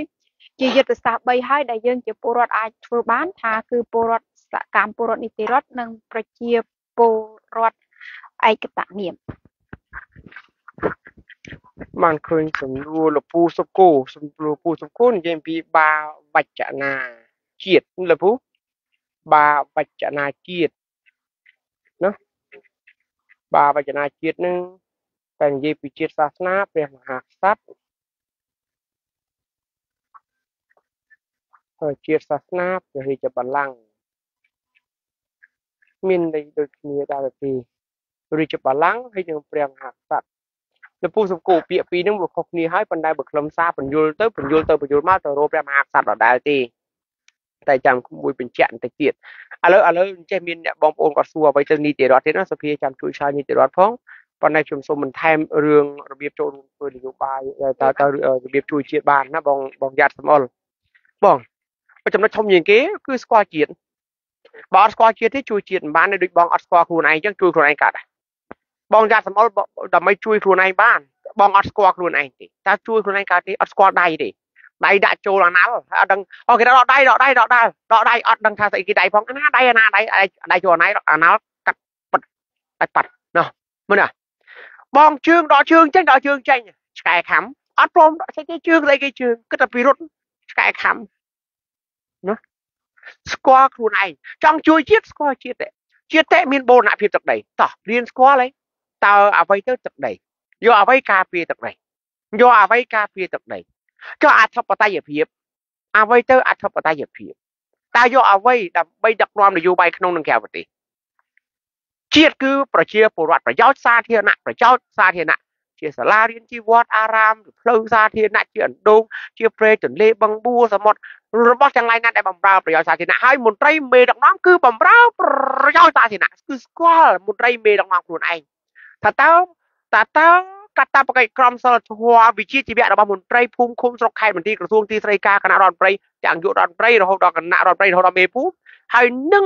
សភាជាតិប្រតិសភារដ្ឋសភានិងចៅក្រមកាឡាវិជាបរិញ្ញាគណៈកម្មការការក្តីនៅតុលាការដំបងកន្ធរនៅកំពូលតើគោជួបងមកពីណាគណៈកម្មាធិការជាតិរៀបចំការបោះឆ្នោតឃុំសង្កាត់ក៏ថ្នាក់ឃុំថ្នាក់ជាតិនិងថ្នាក់ខេត្ត តើតើតើពួកគាត់នឹងជាមន្ត្រីនឹងមកពីណាក្រមសិលធម៌វិជាជីវៈរបស់មន្ត្រីគោជោបងនឹងមានអីខ្លះអីមន្ត្រីក្រមប្រឹក្សាធម៌រុញដែលអះអាងថាខ្លួនគឺជាស្ដេចបកស្រាយរដ្ឋធម្មនុញ្ញជាស្ដេចបកស្រាយច្បាប់នឹងតើពួកគេធ្វើស្អីរាល់ថ្ងៃស៊ីប្រាក់ខែឲ្យធ្វើស្អីទៀតនោះហើយហៅថាស្គាល់ជាតិសិនបើមិនស្គាល់ជួយជាតិមិនកើតពីរពេលដែលស្គាល់ជាតិហើយ ទៅមើលរដ្ឋធម្មនុញ្ញនិងច្បាប់អន្តរជាតិដទៃទៀតដែលចាក់ទៅកាត់តាប់ប្រកិច្ចពលរដ្ឋ កតាបកិច្ចយើងណែស្គាល់ជាតិហើយស្គាល់កតាបកិច្ចខ្លួនឯងរដ្ឋធម្មនុញ្ញសរសេរអានរដ្ឋធម្មនុញ្ញអស់អូយ៉ាងហើយដល់ក៏បងប្អូនទៅមើលរដ្ឋធម្មនុញ្ញនៅក្នុងជំពូកទី3និយាយពីសិទ្ធិនិងករណីកិច្ចរបស់ពលរដ្ឋប៉ុន្តែក៏មើលតែប៉ុណ្ណឹងរដ្ឋធម្មនុញ្ញទាំងប៉ុណ្ណឹងអានមិនចប់អសរខ្មែរតាបងប្អូនឃើញមានមានពូម្នាក់បងម្នាក់ហ្នឹងគាត់ ព្យាយាមឲ្យពួកយើងឈប់ផ្សាយកិច្ចព្រមព្រៀងប៉ារីសផ្សាយរដ្ឋធម្មនុញ្ញបានហើយអីចឹងទៅកុំឲ្យបំពុលសង្គមកុំឆ្លើយឆ្លងបែបប្រមាថណាឆ្លើយឆ្លងជាមួយគាត់ហៅគាត់ចូលផ្សាយហើយដាក់លេខទូរស័ព្ទខ្ញុំឲ្យគាត់ខលចូលមកឬក៏សួរគាត់មើលបើគាត់ព្រមឲ្យខ្ញុំតាក់ទងទៅជួបគាត់នៅឯណាមកវេទិកាសាធារណៈក៏បានទៅទីលានប្រជាធិបតេយ្យក៏បានបើកវេទិកាសំណួរចម្លើយអីហ្នឹងមកមកពួកខ្ញុំគេមានទៅទើសទាល់ស្អីហើយមនុស្សដូចគាត់ដែលចេញមកនឹងជាប្រមាថអញ្ចេះណាក៏មកម្នាក់ឯងលោកពូ មកម្ដង500នាក់យ៉ាងតិចយ៉ាងតិចបំផុត500នាក់មកនោះឲ្យឈរជេឈរឲ្យជេប៉ុន្តែជេរឿងជាតិបើជេរឿងស្រោនអាសមោមអាសមោមអូតែប៉ុណ្ណឹងខ្ញុំទៅតជាមួយទេឥឡូវនេះដូចអាជេចេះសិតតែពួកខ្ញុំនឹងនិយាយកិច្ចព្រមព្រៀងប៉ារីនឹងវាអត់ប្រយោជន៍បំពុលសង្គមទេមកអញ្ចឹងចឹងអញ្ចឹងចឹងមកមកមកមក អញ្ចឹងខ្ញុំសូមបញ្ជាក់ឡើងវិញបងរ៉ាត់សម្បល់ដែលសួរតើតើជួយជាតិយ៉ាងម៉េចទី1គឺស្គាល់ជាតិទី2ស្គាល់កាតព្វកិច្ចខ្លួនឯងនោះជួយជាតិកើតណាជួយដោយសន្តិវិធីជួយដោយនីតិវិធីណោះនេះជួយបានឬក៏មិនបាន ជួយបានឬក៏មិនបាន ចង់ចង់ដឹងជួយបានបានមែនឥឡូវបងយ៉ាត់សម្បល់បងចេះច្បាប់និងអត់ចេះច្បាប់មួយណាបងសុវត្ថិភាពជាងបងចេះដឹងយល់ច្បាប់ដំណើរការនីតិវិធីនៃការអនុវត្តច្បាប់ ចេះក្រមសីលធម៌វិជ្ជាជីវៈទួនាទីមន្ត្រីមេដឹកនាំរបស់ខ្លួននឹងអត់ចេះអត់ដឹងអត់យល់អំពីការការងារសង្គមអត់យល់អំពីមន្ត្រីភូមិមានមានកាតព្វកិច្ចអីមន្ត្រីឃុំស្រុកខេត្តមានកាតព្វកិច្ចប៉ូលីសយោធាមានកាតព្វកិច្ចអីយើងអត់ចេះអត់ដឹងអត់យល់ថាតើពីនេះមួយណាមួយណាមួយណាបងមានប្រយោជន៍ជាងមួយណាបងរឹងមាំជាងមួយណាបងប្រសើរជាងបងឧបាសកអ៊ុំរតតោះយ៉ាសបល់ មកសួរថាស្រូនចោចចគាត់ចេះច្បាប់ហ្នឹងជួយជាតិបានដែរឥឡូវឥឡូវសួរខ្លួនឯងសិនជាតិខ្មែរបានបើអត់មានពលខ្មែរកោតជាតិទេមើលបងលូនបងដាសៀងបើកាលណាជនរួមភាសាបងលូនអត់សូវយល់រដ្ឋធម្មនុញ្ញម៉ោង2ដល់10កន្លះ1កន្លះខ្ញុំផ្សាយរាល់ថ្ងៃដែរចឹងបងអាចចូលរួមស្ដាប់ព្យាយាមស្ដាប់តាមលទ្ធភាពរបស់នៅស្តេសលពេលវេលាដែលបងមានណា បងដាសៀងឥឡូវឥឡូវប្រទេសមួយអត់មានពលរដ្ឋតើកើតជាតិកើតទេសភាប្រជាជាតិមានអីគេបូរណភាពទឹកដីមានអធិបតេយ្យហើយមួយទៀតគឺអីគឺប្រជាពលរដ្ឋហើយចុះបងយ៉ាត់សម្អល់ពលរដ្ឋអត់បងដាសៀងពលរដ្ឋអត់លពូខ្ញុំជាខ្មែរពលរដ្ឋអត់តើភៀសស្រូនជាជាពលរដ្ឋអត់វណ្ណៈបែកណាវិចិត្រអ្នកទាំងអស់គ្នានៅខាងមុខបងអ្នកទាំងអស់គ្នាពលរដ្ឋទេពលរដ្ឋ ចឹងបើអ្នកទាំងអស់គ្នាជាពលរដ្ឋពួកយើងម្នាក់ម្នាក់ចេះច្បាប់មិនពលរដ្ឋចេះច្បាប់ពលរដ្ឋចេះច្បាប់ហើយនឹងពលរដ្ឋអត់ចេះច្បាប់មួយណាជួយជាតិបានប្រសើរជាងការពារជាតិបានប្រសើរជាងប្រកាសជាប្រកាសជាពលរដ្ឋចេះច្បាប់ទើបអាចជួយជាតិមាតុភូមិបានប្រសើរជាងដូចតែខ្ញុំបញ្ជាក់ខាងដើមថាចង់ជួយជាតិយើងស្គាល់ជាតិអញ្ចឹងតែចេះច្បាប់ស្គាល់ជាតិបាត់តែចេះច្បាប់ ស្គាល់ជាតិហើយស្គាល់កាតព្វកិច្ចខ្លួនឯងទៀតចេះប្រើកាតព្វកិច្ចខ្លួនឯងទៀតស្លេះប៉ុណ្្នឹងចោះបងយ៉ាត់សម្បុរសង្ឃឹមថាបងអាចស្ដាប់បានចម្លើយហើយបងចចកមីឃាបើមិនផ្លាស់ប្ដូរក្បាលម៉ាស៊ីនទេអានច្បាប់ឲ្យគូស្ដាប់ទៅ បងចចកមេឃាបងចូលផ្សាយបានទេបងចចកមេឃាបងចូលផ្សាយបានទេ ឥឡូវអញ្ចេះខ្ញុំសួរសំណួរទុកឲ្យបងចចកមេឃាឆ្លើយសិនតើរាល់ថ្ងៃនេះបងមានសម្បត្តិកំណើតទេបើយល់ថាច្បាប់អត់ប្រយោជន៍និយាយច្បាប់គឺអានឲ្យគោស្ដាប់បងហ៊ានទេហ៊ានទៅទៅតុលាការប្តឹងលុបចោលសមុទ្រកំណើតបងបានទេច្បាប់អត់បានការទេផ្ទះបងហ៊ានទេហ៊ានដាក់ផ្ទះបង ដីបងស្រែចម្ការបងអចលនទ្រព្យម៉ូតូឡានបងទ្រព្យសម្បត្តិបង ដាក់ឈ្មោះអ្នកដតីអ្នកចិត្តខាងបងហ៊ានឬក៏មិនហ៊ានបងចចកមីឃាបើយល់ថាយកច្បាប់មកនិយាយគឺដូចជាយកឲ្យគោស្ដាប់បងយល់ថាយកច្បាប់មកប្រើគឺជាគោអញ្ចឹងបើបងមិនមែនជាគោទេឥឡូវសាកដើរនៅលើផ្លូវកុំដើរដោយពួកខ្ញុំតាមច្បាប់កុំគោរពច្បាប់ចរាចរណ៍ព្រោះអាច្បាប់ហ្នឹងវាសម្រាប់គោទេតើមើលលោកមនុស្សបងចចកមេឃាមនុស្សដាក់ឈ្មោះថាអាចចកទៅទៀតហេ មនុស្សស្អីគេបានជាដាក់ឈ្មោះគេឯងឲ្យមានគ្រាន់ហៅទៅជាឈ្មោះចចកឥឡូវបើបងស្ម័គ្រស្មោះថាយកច្បាប់គឺដូចជាយកទៅឲ្យគោប្រើឥឡូវបងសាកចូលផ្សាយបានទេបងចចកមេឃាមួយទៀតកលឹះចុងក្រោយជូនបងចចកមេឃាបងអាចបបួលប្តីប្រពន្ធបងម៉ែឪបងជីដូនជីតាសាច់ញាតិបងបងអាចបបួលទេ បបួលមកគ្រួសារបងសិនមកពូជញាតិថៅសណ្ដានបងសិនសាករស់គ្មានច្បាប់ព្រោះច្បាប់វាស្មើនឹងយកទៅឲ្យគូស្រាប់ទេអញ្ចឹងបងហ៊ានទេហ៊ានបបួលម៉ែឪបងជីដូនជីតាបងឪពុកមាម្ដាយមីងបងប្រពន្ធប្តីបងកូនបង គឺលុបសម្បត្តិកំណត់ចោលទាំងអស់គ្នាមកពូជមកពូជបងហ៊ានទេធ្វើបានទេមើលទៅបានឬក៏បានហើយសរសេរអក្សរខ្មែរកុំសរសេរតាមតាមក្បួនបស្អើបើមិនបាច់ទេព្រោះ ច្បាប់ណាបង្កើតសរសេរអក្សរគេសរសេរតាមក្បួនណាអាហ្នឹងច្បាប់តើក្បួនសរសេរអក្សរនេះជាច្បាប់តើកោជើងម៉ូតារានឹងនោះគ្មានអាហ្នឹងក៏ច្បាប់ដែរឈ្មោះបងចចមីឃាហ្នឹងក៏សរសេរតាមច្បាប់ដែរបងហ៊ានទេបងមុននឹងប្រមាថពួកខ្ញុំថាយកច្បាប់អានឲ្យគូស្ដាប់ព្យាយាមឆ្វេងយល់ពាក្យច្បាប់ផងបើបងយល់ថាច្បាប់អត់ល្អបងឯងដើររំលោភគេលោមើលមើលបងចចមេឃា ហ៊ានទេហ៊ានដើររំលោភគេឲ្យធ្វើវីដេអូ live ឥឡូវបងទៅរំលោភភូមិណាបងដាក់ដាក់វីដេអូ live ហើយឬក៏ទៅលួចឆក់ប្លន់គេសាទេហ៊ានសាទេបងចចមេឃាចូលផ្សាយផ្ទាល់ឬអត់តើវានេះគឺជាវេទិកាសំណួរចម្លើយណាដាក់មកនឹងក៏ឆ្លើយដែរឆ្លើយដូចបងចចមេឃាក៏ឆ្លើយដែរតើវាមានគេសួរអំពីអ្វីទៅនីតិរដ្ឋសូមជួយបងប្អូនជនរួមភាសានីតិរដ្ឋគឺសំដៅទៅដល់ប្រទេសដែលយកច្បាប់ យកមកធ្វើជាគោលក្នុងការដឹកនាំជាតិមួយទាំងមូល គឺក្នុងការដឹកនាំនយោបាយក្នុងការដឹកនាំបូរណភាពព្រំដែនទៅគោកអាកាសក្នុងការដឹកនាំប្រជាពលរដ្ឋក្នុងការរៀបចំសេដ្ឋកិច្ចនិយាយរួមនីតិរដ្ឋគឺការដែលយកច្បាប់យកធ្វើជាគោលដើម្បីដឹកនាំរដ្ឋ មិនថាតែដឹកនាំសេដ្ឋកិច្ចមិនថាតែរៀបចំថែរក្សាវប្បធម៌ឬក៏នយោបាយជាដើមខលមកលេខពួកយើងដាក់លេខទូរស័ព្ទចចមេឃាអាចដាក់លេខទូរស័ព្ទនៅទីនេះក៏បានឬក៏អាចទេមកលេខ086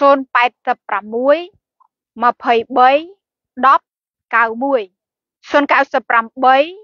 098 23 10 91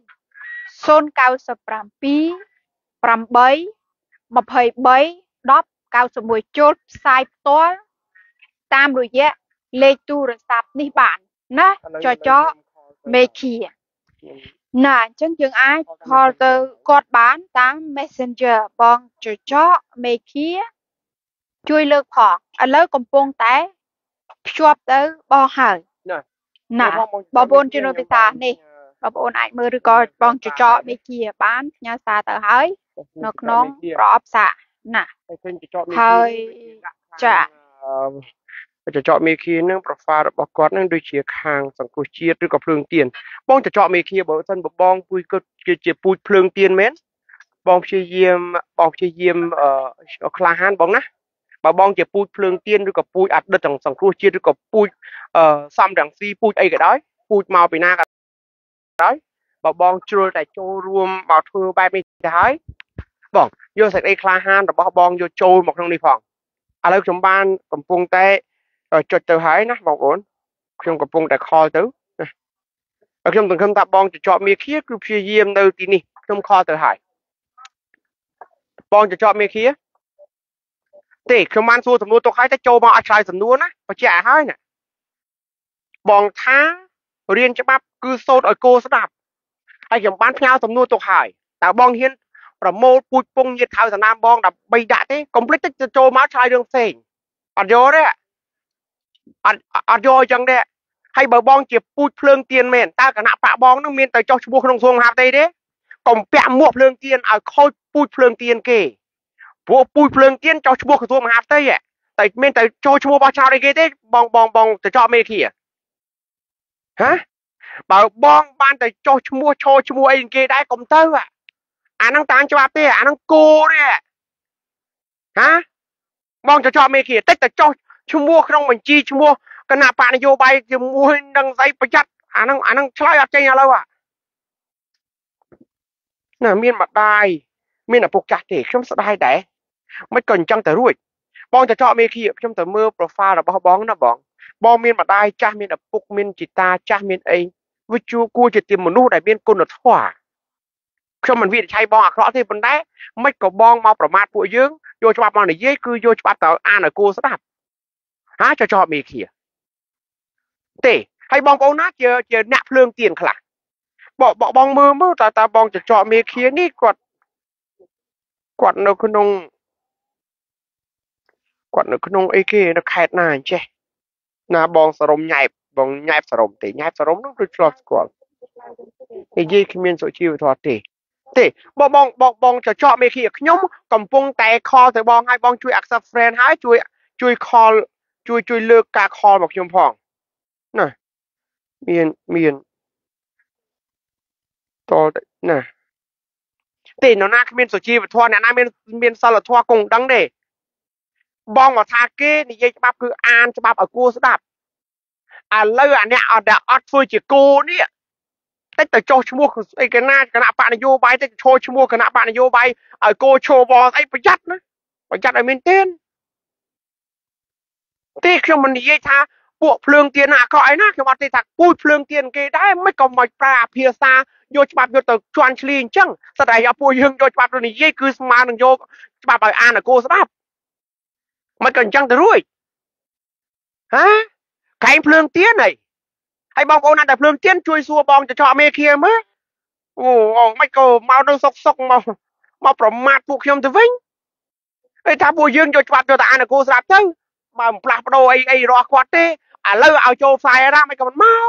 ស្លេះប៉ុណ្ណឹងជំនុំវិសាខ្ញុំឈប់ឆ្លើយឆ្លងហើយបើកាលណាគាត់ព្រមគឺឃើញខលហើយបើអត់គឺទោះបីគាត់ទៅទេទៀតក៏ខ្ញុំឈប់ឆ្លើយដែរទោះបីជាអ្នកប្រើឈ្មោះចចកមេឃាជាឈ្មោះអីក៏ដោយ តែមនុស្សហើយនោះទៅពីអមាញ់មិញនេះទៅរត់នោះមានតែខមកលើកបន្តិចចុចលើកមកចុចលើកមកណែហៅឡូជំរាបសួរបាទជំរាបសួរបងនរណាគេដែរបងអើទៅចង់និយាយជាមួយនឹងអ្នកឡាយផ្ទាល់ណាបាទបាទខ្ញុំខ្ញុំស្រូនខ្ញុំស្រូនកំពុងនិយាយបងចចកមេឃាមែនទេបើកាលណាគាត់ទូបាទខ្ញុំណាក៏ឥឡូវឥឡូវបង នៅពេលដែលបងថាពួកយើងមកប្រាប់កុំបងចាំបន្តិចខ្ញុំខ្ញុំខ្ញុំនិយាយញាក់ម្ដងបងនិយាយញាក់ម្ដងបងកំពុងមកនឹងនិយាយស្ដាប់គ្នាទេបាទបាទបាទបើស្ដាប់គ្នានិយាយញាក់ម្ដងខ្ញុំនិយាយសិនបងថាតាពួកយើងនេះក៏អានច្បាប់នឹងឲ្យគោស្ដាប់ទៅ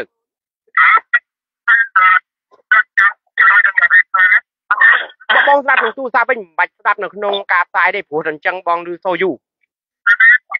ឡូវបងជួយឆ្លើយបងជួយឆ្លើយសំណួរសិនតើហេតុអ្វីបានជាពួកបងជំរុញឲ្យពួកខ្ញុំអានច្បាប់ឲ្យគោស្ដាប់បងជួយបញ្យល់សិនមកអញ្ជើញ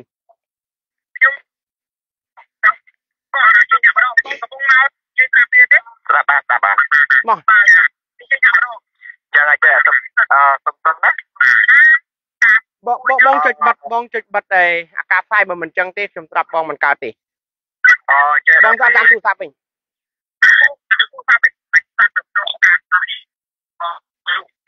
ចេះណាមិនដឹងថាបងគាត់ស្ដាប់ទូរស័ព្ទប្រហែលនេះហើយជា2 3គ្រឿងក៏មិនដឹង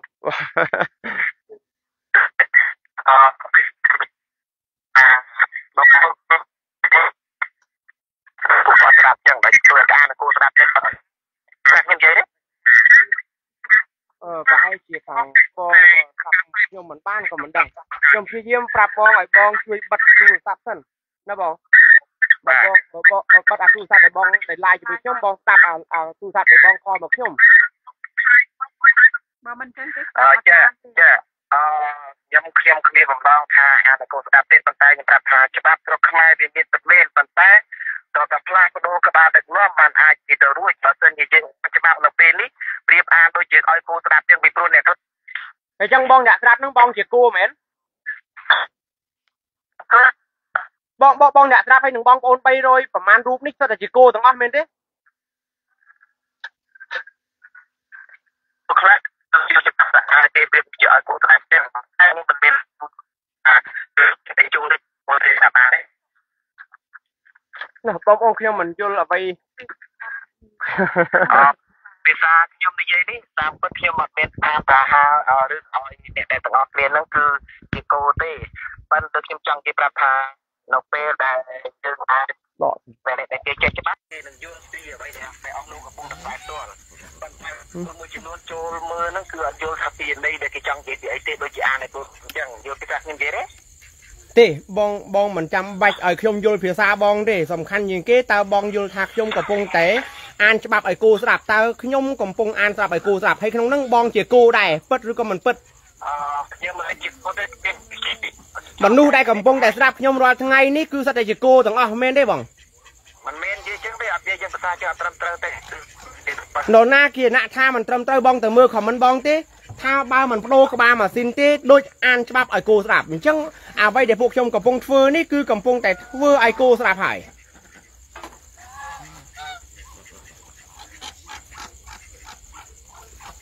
ណាបងប្អូនខ្ញុំគិតថាប្រហែលជា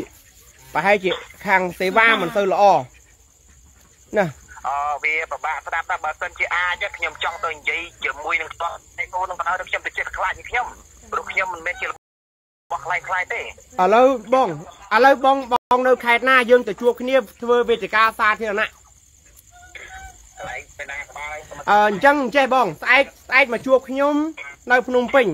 ហើយបងអាចហៅគ្នាមកប្រហែលក៏បានហើយខ្ញុំនឹងគៀងគោសមាជិកមួយចំនួនឲ្យទៅសួរបងម្ដងតើពួកយើងជាគូមិនមែនដែរទេដែលយកច្បាប់មកនិយាយព្រោះយកច្បាប់មកនិយាយជាគូមិនមែនយល់ដូចនោះទេនិយាយភាសាជាងអត់អត់អត់មានសស្ដាប់ទេពីព្រោះថាបងស្ដាប់ម្ដងទៀតខ្ញុំនិយាយម្ដងទៀតណាបើបងអត់ស្ដាប់យើងអត់ស្ដាប់គ្នាទេអូខ្ញុំសួរបងបងអត់ព្រមឆ្លើយទេ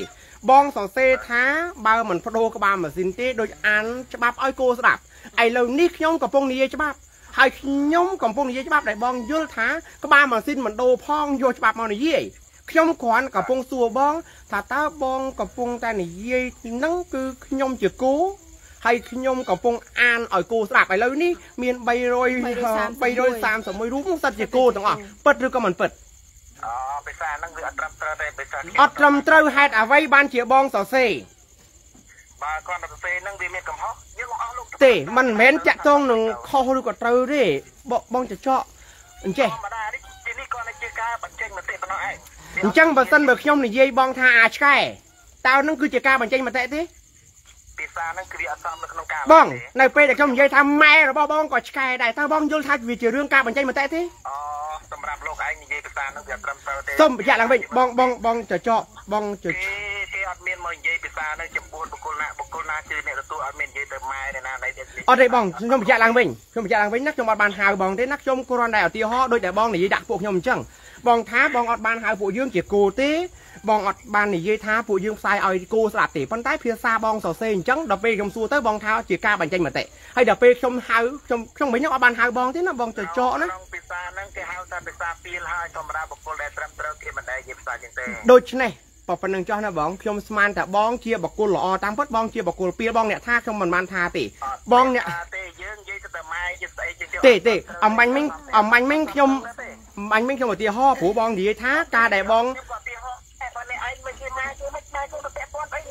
ណោឃើញនៅយល់ទេយល់អំពីអ្វីទៅហៅថាការបញ្ចេញមតិឲ្យនៅអឺ បើចេញមតិយ៉ាងណាក៏ដោយឲ្យវាមានក្រមសីលធម៌ក្រមសីលធម៌របស់បងបងនិយាយថាបើមិនផ្លាស់ប្ដូរមេដឹកនាំទេពួកយើងកំពុងតែអានច្បាប់ឲ្យគោស្ដាប់នេះស្អីគេនោះ បាទហើយខ្ញុំសួរតែបើសិនខ្ញុំនិយាយនៅវិធុនត្រាមែនមែនវាមែនមែនអីទេអត់មានតាក់ទងនឹងបងមកសួរខ្ញុំធ្ងន់ស្រាលទេប៉ុន្តែសំខាន់ជាងគេបងនិយាយថាការដែលបងនិយាយថាការដែលពួកយើងដែលដែលយកនិយាយចឹងក៏មិនបាញ់និយាយទៅមកខ្ញុំបានដែរអ្នកឯងអត់មានសិទ្ធិលើនិយាយមើលមើលពុកងាយពុកម្ដាយខ្ញុំបងប្អូនទេខ្ញុំអាម៉ាញ់មិញខ្ញុំអត់បានខ្ញុំបងដងទៀតណាបងខ្ញុំថតនេះខ្ញុំ screen shot ទុកឲ្យចម្លែកអស់លោកនេះអូអូសុំទោសខ្ញុំមិនមែនខ្លាចបងទេ ឥឡូវអញ្ចេះឥឡូវស្អែកជួបបានអត់ឥឡូវបងស្អែកជួបនៅភ្នំពេញណាបងទៅទៅខ្ញុំទៅភ្នំពេញខ្ញុំមិនជាខ្លាចជួបទេប៉ុន្តែពេលខ្លះខ្ញុំអើបងឥឡូវអញ្ចេះខ្ញុំទៅជួបបងនៅភ្នំពេញបងណាត់កន្លែងក៏បានខ្ញុំណាត់កន្លែងក៏បានតើបងជួបបានទេខ្ញុំមិនចេះខ្លាចយ៉ាងណាទេទេខ្ញុំអត់សួររឿងខ្លាចមិនខ្លាចទេខ្ញុំសួរថាបងជួបបានឬក៏មិនបានបងអត់អត់ចេះឆ្លើយទេខ្ញុំពិបាកស្ដាប់មកពីព្រោះគ្មានទេអូខេបងប្អូនជនរួមភាសា ខ្ញុំគិតថាបងពពុះបងចចកខ្ញុំគិតថាយ៉ាងហោចណាស់គាត់គ្មានចេតនាអាក្រក់ប៉ុន្តែភាសានិយាយរបស់គាត់នៅពេលដែលខ្ញុំប្រើភាសាបែបនោះជាឧទាហរណ៍បែរទៅជាបងគិតថាខ្ញុំប្រមាថគាត់ប្រមាថម្ដាយគាត់បងចចកប៉ុណ្្នឹងចោះជួបគ្នានៅពេលដែលមានឱកាសតាមក្រោយជនរួមភាសាមិនមែនខ្ញុំមិនចេះប្រដៅមនុស្សទេតែមនុស្សខ្លះនៅពេលដែលខ្លួនប្រើពាក្យអាក្រក់ដាក់គេ យល់ថាជារឿងត្រឹមត្រូវថាជាការបញ្ចេញមកទេខ្ញុំមិនបាញ់មានខ្ញុំឧទាហរណ៍ទេតាថាបើខ្ញុំហៅគាត់វិញបើខ្ញុំហៅមកដៃគាត់ហើយនោះជារឿងការបញ្ចេញមតិទេបើទេតាខ្ញុំអត់បានហៅមកដៃគាត់ទេខ្ញុំក៏មិនបានហៅគាត់ដែរទេបងរក្សាកំពុងឆ្នាំងមិនមែនតាក់ទងនឹងគេឌីលមុនឌីលក្រោយទេពួកខ្ញុំមិនបាននិយាយរឿងឌីលមុនឌីលក្រោយទេណាបងគុជសម្រេច បើបងប្អូននៅប្រកាន់បែបនេះស្ដាប់ភាសាខ្ញុំនិយាយមិនទាន់បានទេសូមចាប់ស្ដាប់ឡើងវិញបងនគរខ្មែរខ្ញុំខ្ញុំអត់មាន បានទៅជាបញ្ចោទេខ្ញុំគ្រាន់តែប្រាប់ថាគាត់ថាការដែលបើមិនទាន់មិនទាន់បដូរក្បាលម៉ាស៊ីនទេដូចយើងហ្នឹងកំពុងតែនិយាយច្បាប់ឲ្យគោស្ដាប់ស្មើនឹងប្រមាថអ្នកដែលកំពុងស្ដាប់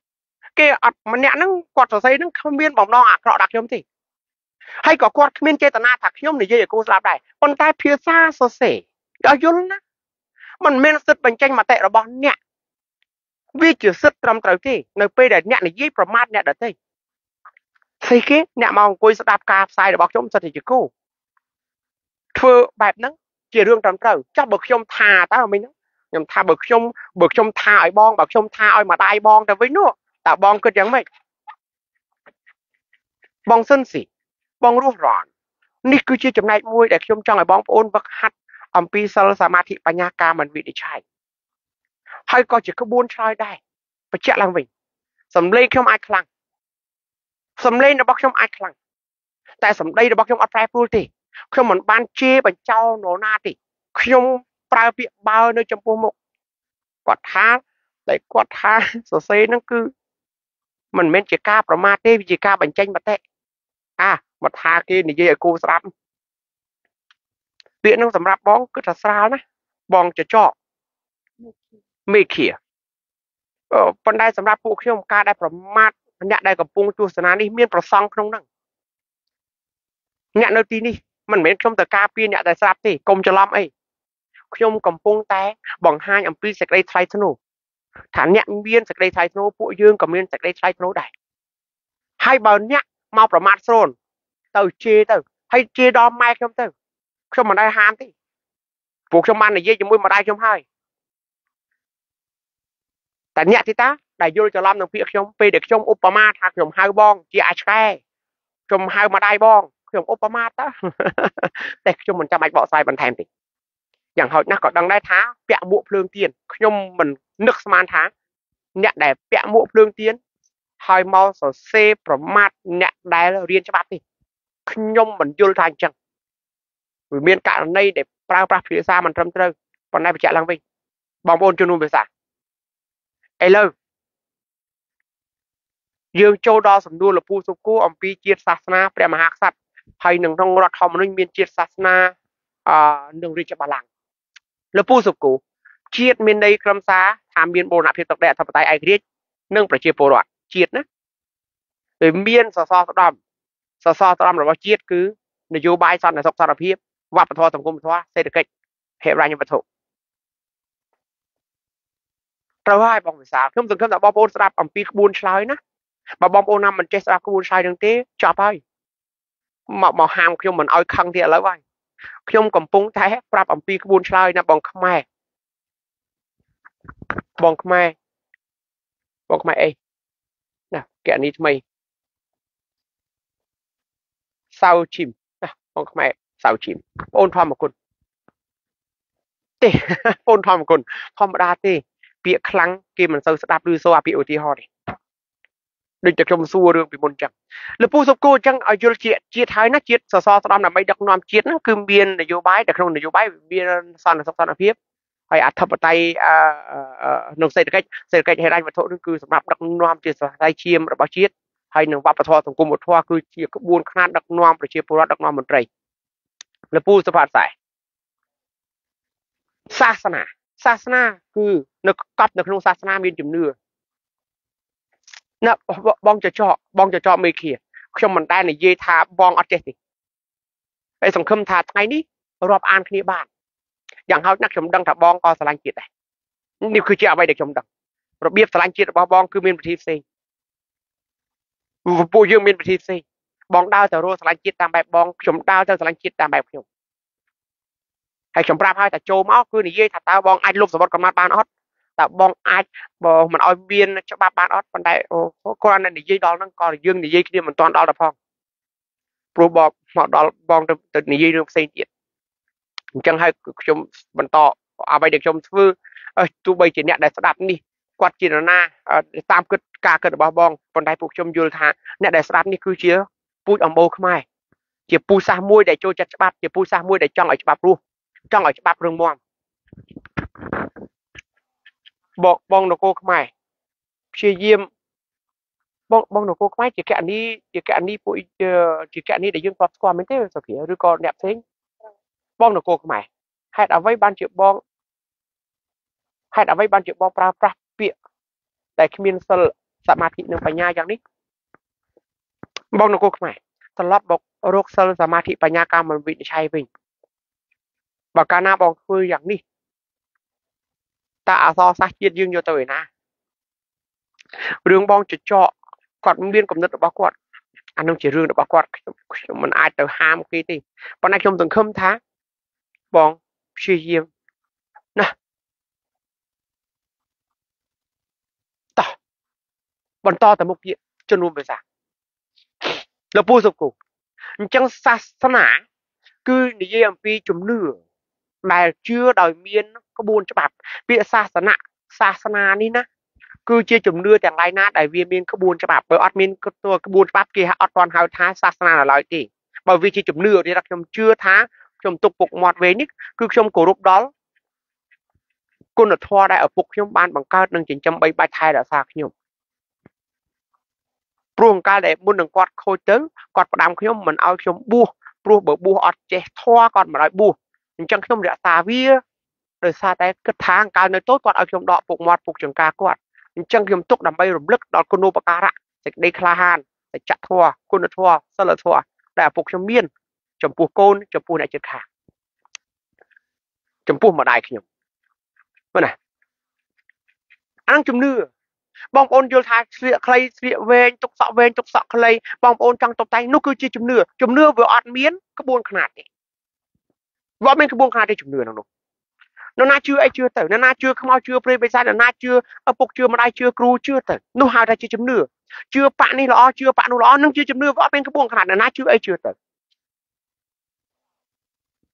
តែពាក្យសាសនានេះគឺវាមានក្បួនខ្នាតដូចជាសាសនាដែលដឹកនាំជំនឿទៅលើព្រះពុទ្ធសាសនាគឺសាសនាដែលវាមានក្បួនខ្នាតមានវត្តអារាមមានទីតាំងមានក្បួនសិលសមាធិបញ្ញា ការមិនវិនិច្ឆ័យសរសេរវិន័យប្រសងយ៉ាងម៉េចនិយាយទីជីតាជីយ៉ាងម៉េចហើយអឺភិក្ខុនីយ៉ាងម៉េចហ៎ព្រះយេស៊ូវគេមានសាសនាគេមាន church របស់ពួកគេមានសាសនាអ៊ីស្លាមគេមានរបស់គេនោះហើយហៅថាជាជាសាសនាហើយនៅកម្ពុជាលពូសុគោខ្ញុំមិនបញ្យល់រឿងហ្នឹងទេលពូចង់សួររឿងតាក់ទងនឹងរាជបល្ល័ង្កហើយនឹងព្រះមហាក្សត្រលពូសុគោ តាមពុទ្ធបកស្រាយព្រះមហាក្សត្រហ្នឹងក៏ព្រះអង្គទៅមើលនៅក្នុងរដ្ឋធម្មនុញ្ញថ្មីហ្នឹងលពូថាព្រះអង្គគឺគ្រងរាជនៅតែរាជបល្ល័ង្កដដែលទេលោកលពូសុគោនៅតែរាជបល្ល័ង្កដដែលទេគ្រាន់តែប៉ាគេប្រើថាព្រះមហាក្សត្រគឺគ្រងរាជអញ្ចឹងបញ្យល់ទៅមិនខុសគ្នាទេរាជបល្ល័ង្កហ្នឹងគឺបល្ល័ង្កហ្នឹងគឺកៅអីរាជហ្នឹងគឺក្សត្រស្ដេច ពេលដែលប្រើពាក្យថារាជបល្ល័ង្កគឺជាកៅអីដែលឬក៏ជាឋានៈឬក៏ជាតំណែងដែលមានក្សត្រគ្រងណាស្លេះប៉ុណ្្នឹងចោះបងអូនប្រុសផែនឥឡូវនេះបងអូនប្រុសផែនកំពុងតែចង់បំបែកក្រុមជជែកពិតឬក៏មិនពិតបងចចកគាត់មានកំណត់របស់គាត់ឬក៏យើងមិនចង់បណ្ដោយឲ្យគាត់និយាយអ្វីដែលគាត់និយាយបងខ្មែរសៅឈីម ហ្វូនខាន់កាមេរ៉ាតើអ្នកមិនអាចទុកឲ្យបងចចកគាត់សរសេរអ្វីដែលគាត់សរសេរទៅមិនបានទេឬក៏បងប្អូនចង់ឲ្យខ្ញុំទៅជែករឿងបងទៅចកបន្តទៀតតើវេទិកានេះជាវេទិការបស់ជាតិយើងយើងទៅជែកគ្នាអំពីរឿងជាតិមាតុភូមិដូចជាលពូសុបគោសួររឿងជាតិសាសនាព្រះមហាក្សត្រជា បាវចនារបស់ជាតិ យើងអត់ចង់បញ្យល់រឿងហ្នឹងទេដូចជាបងប្អូនសួរអំពីដំណាក់កាលអន្តរកាលកិច្ចព្រមព្រៀងប៉ារីសនិយាយពីអីអារឿងគេមិនជឿថាពួកយើងកំពុងនិយាយច្បាប់ហ្នឹងនិយាយច្បាប់ឲ្យគោស្រាប់អាហ្នឹងជារឿងរបស់គាត់គាត់ជឿថាទៅផ្ដួលប៉ាក់នោះសិនទៅរំលាយប៉ាក់នោះសិនបើប៉ាក់ហ្នឹងមិនរលាយទេវានិយាយច្បាប់ហ្នឹងដូចសូត្រឲ្យគោស្រាប់អញ្ចឹងហើយដល់គាត់និយាយអញ្ចឹងអ្មេចយើងឈប់និយាយហើយហើយទៅនិយាយពីគាត់រហូតទៅអញ្ចឹងតែនិយាយពីពីប៉ាក់ដែលគាត់ចង់រំលាយហ្នឹងទៅអញ្ចឹងផ្ដួលប៉ាក់ហ្នឹងមិនក៏ទៅអញ្ចឹង បើជំនួសភាសាមិនចង់និយាយរឿងជាតិទេសរសេរទៅជាប្រទេសអ្នកកៅនេះដែលបានស្ដាប់ពួកខ្ញុំផ្សាយញឹកញាប់គ្រាន់បើហើយបងស្រីមុំងិនបងងិនស្រីមុំបងហៀរតនាបើជំនួសភាសាអត់សូចេប៉ូលីទេអត់ដើរទៅមុខទេណាជំនួសភាសា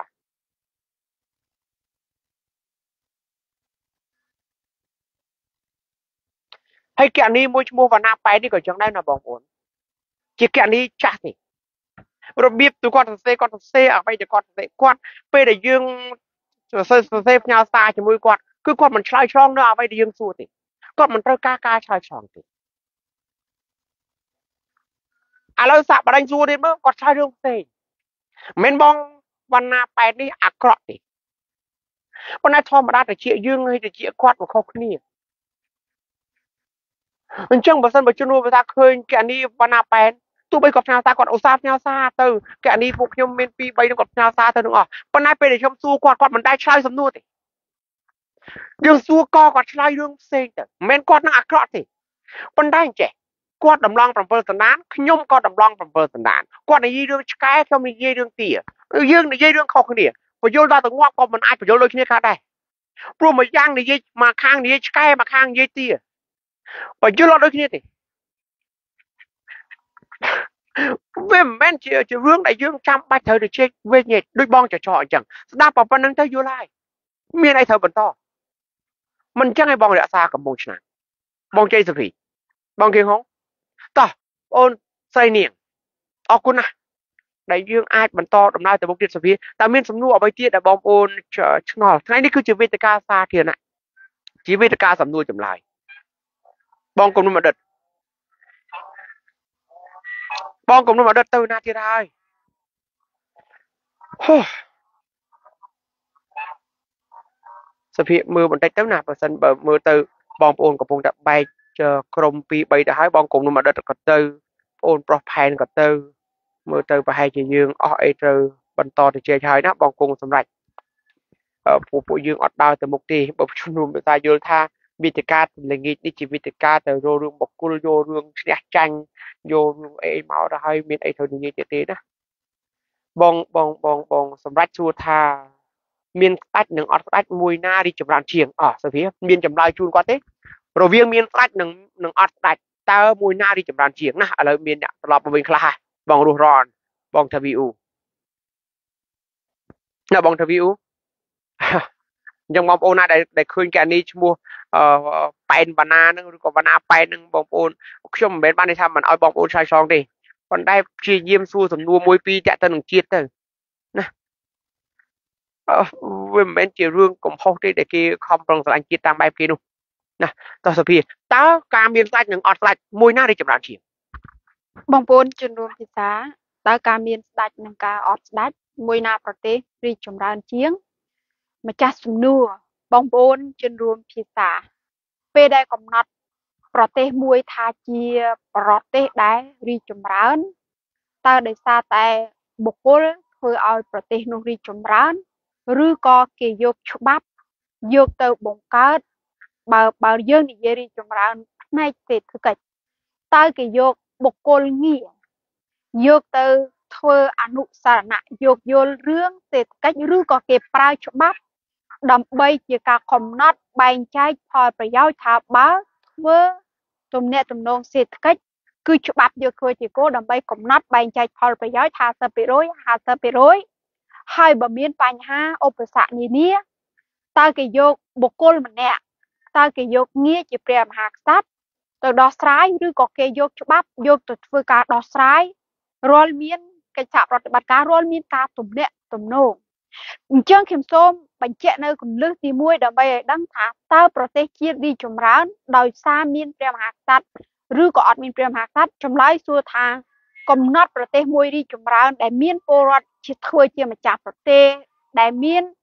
ពលរដ្ឋធ្វើជាភោគទ្រព្យសេដ្ឋកិច្ចភោគទ្រព្យវប្បធម៌ភោគទ្រព្យផ្នែក ធម្មជាតិថាតើការដែលរីចម្រើនដែលមានបូរណភាពព្រំដែនទៅគោកអាកាសមិនមានចំនួនមិនមាន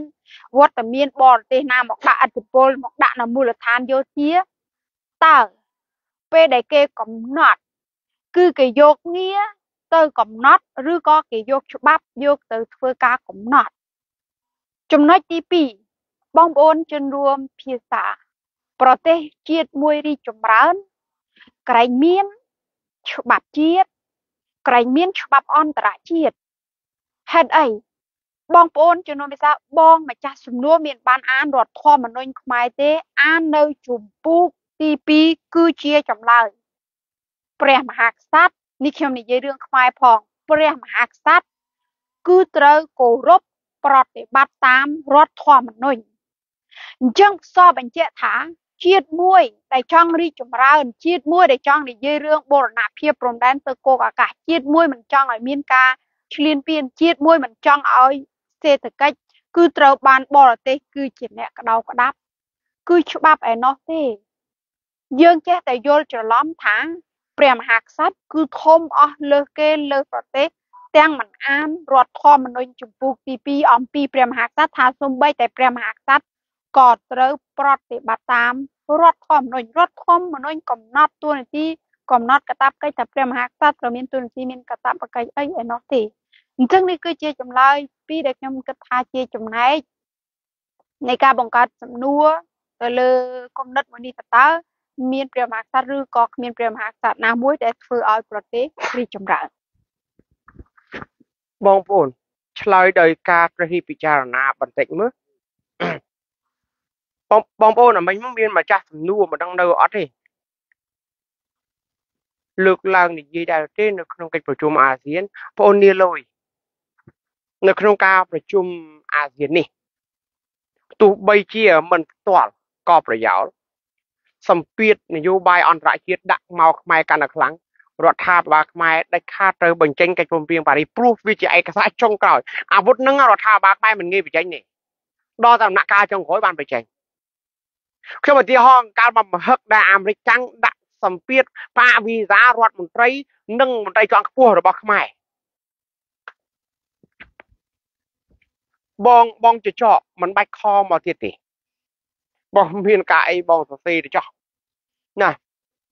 បងមានការអីសរសេរទៅចោះណាខ្ញុំខ្ញុំមិនទៅជែកជាមួយបងទេ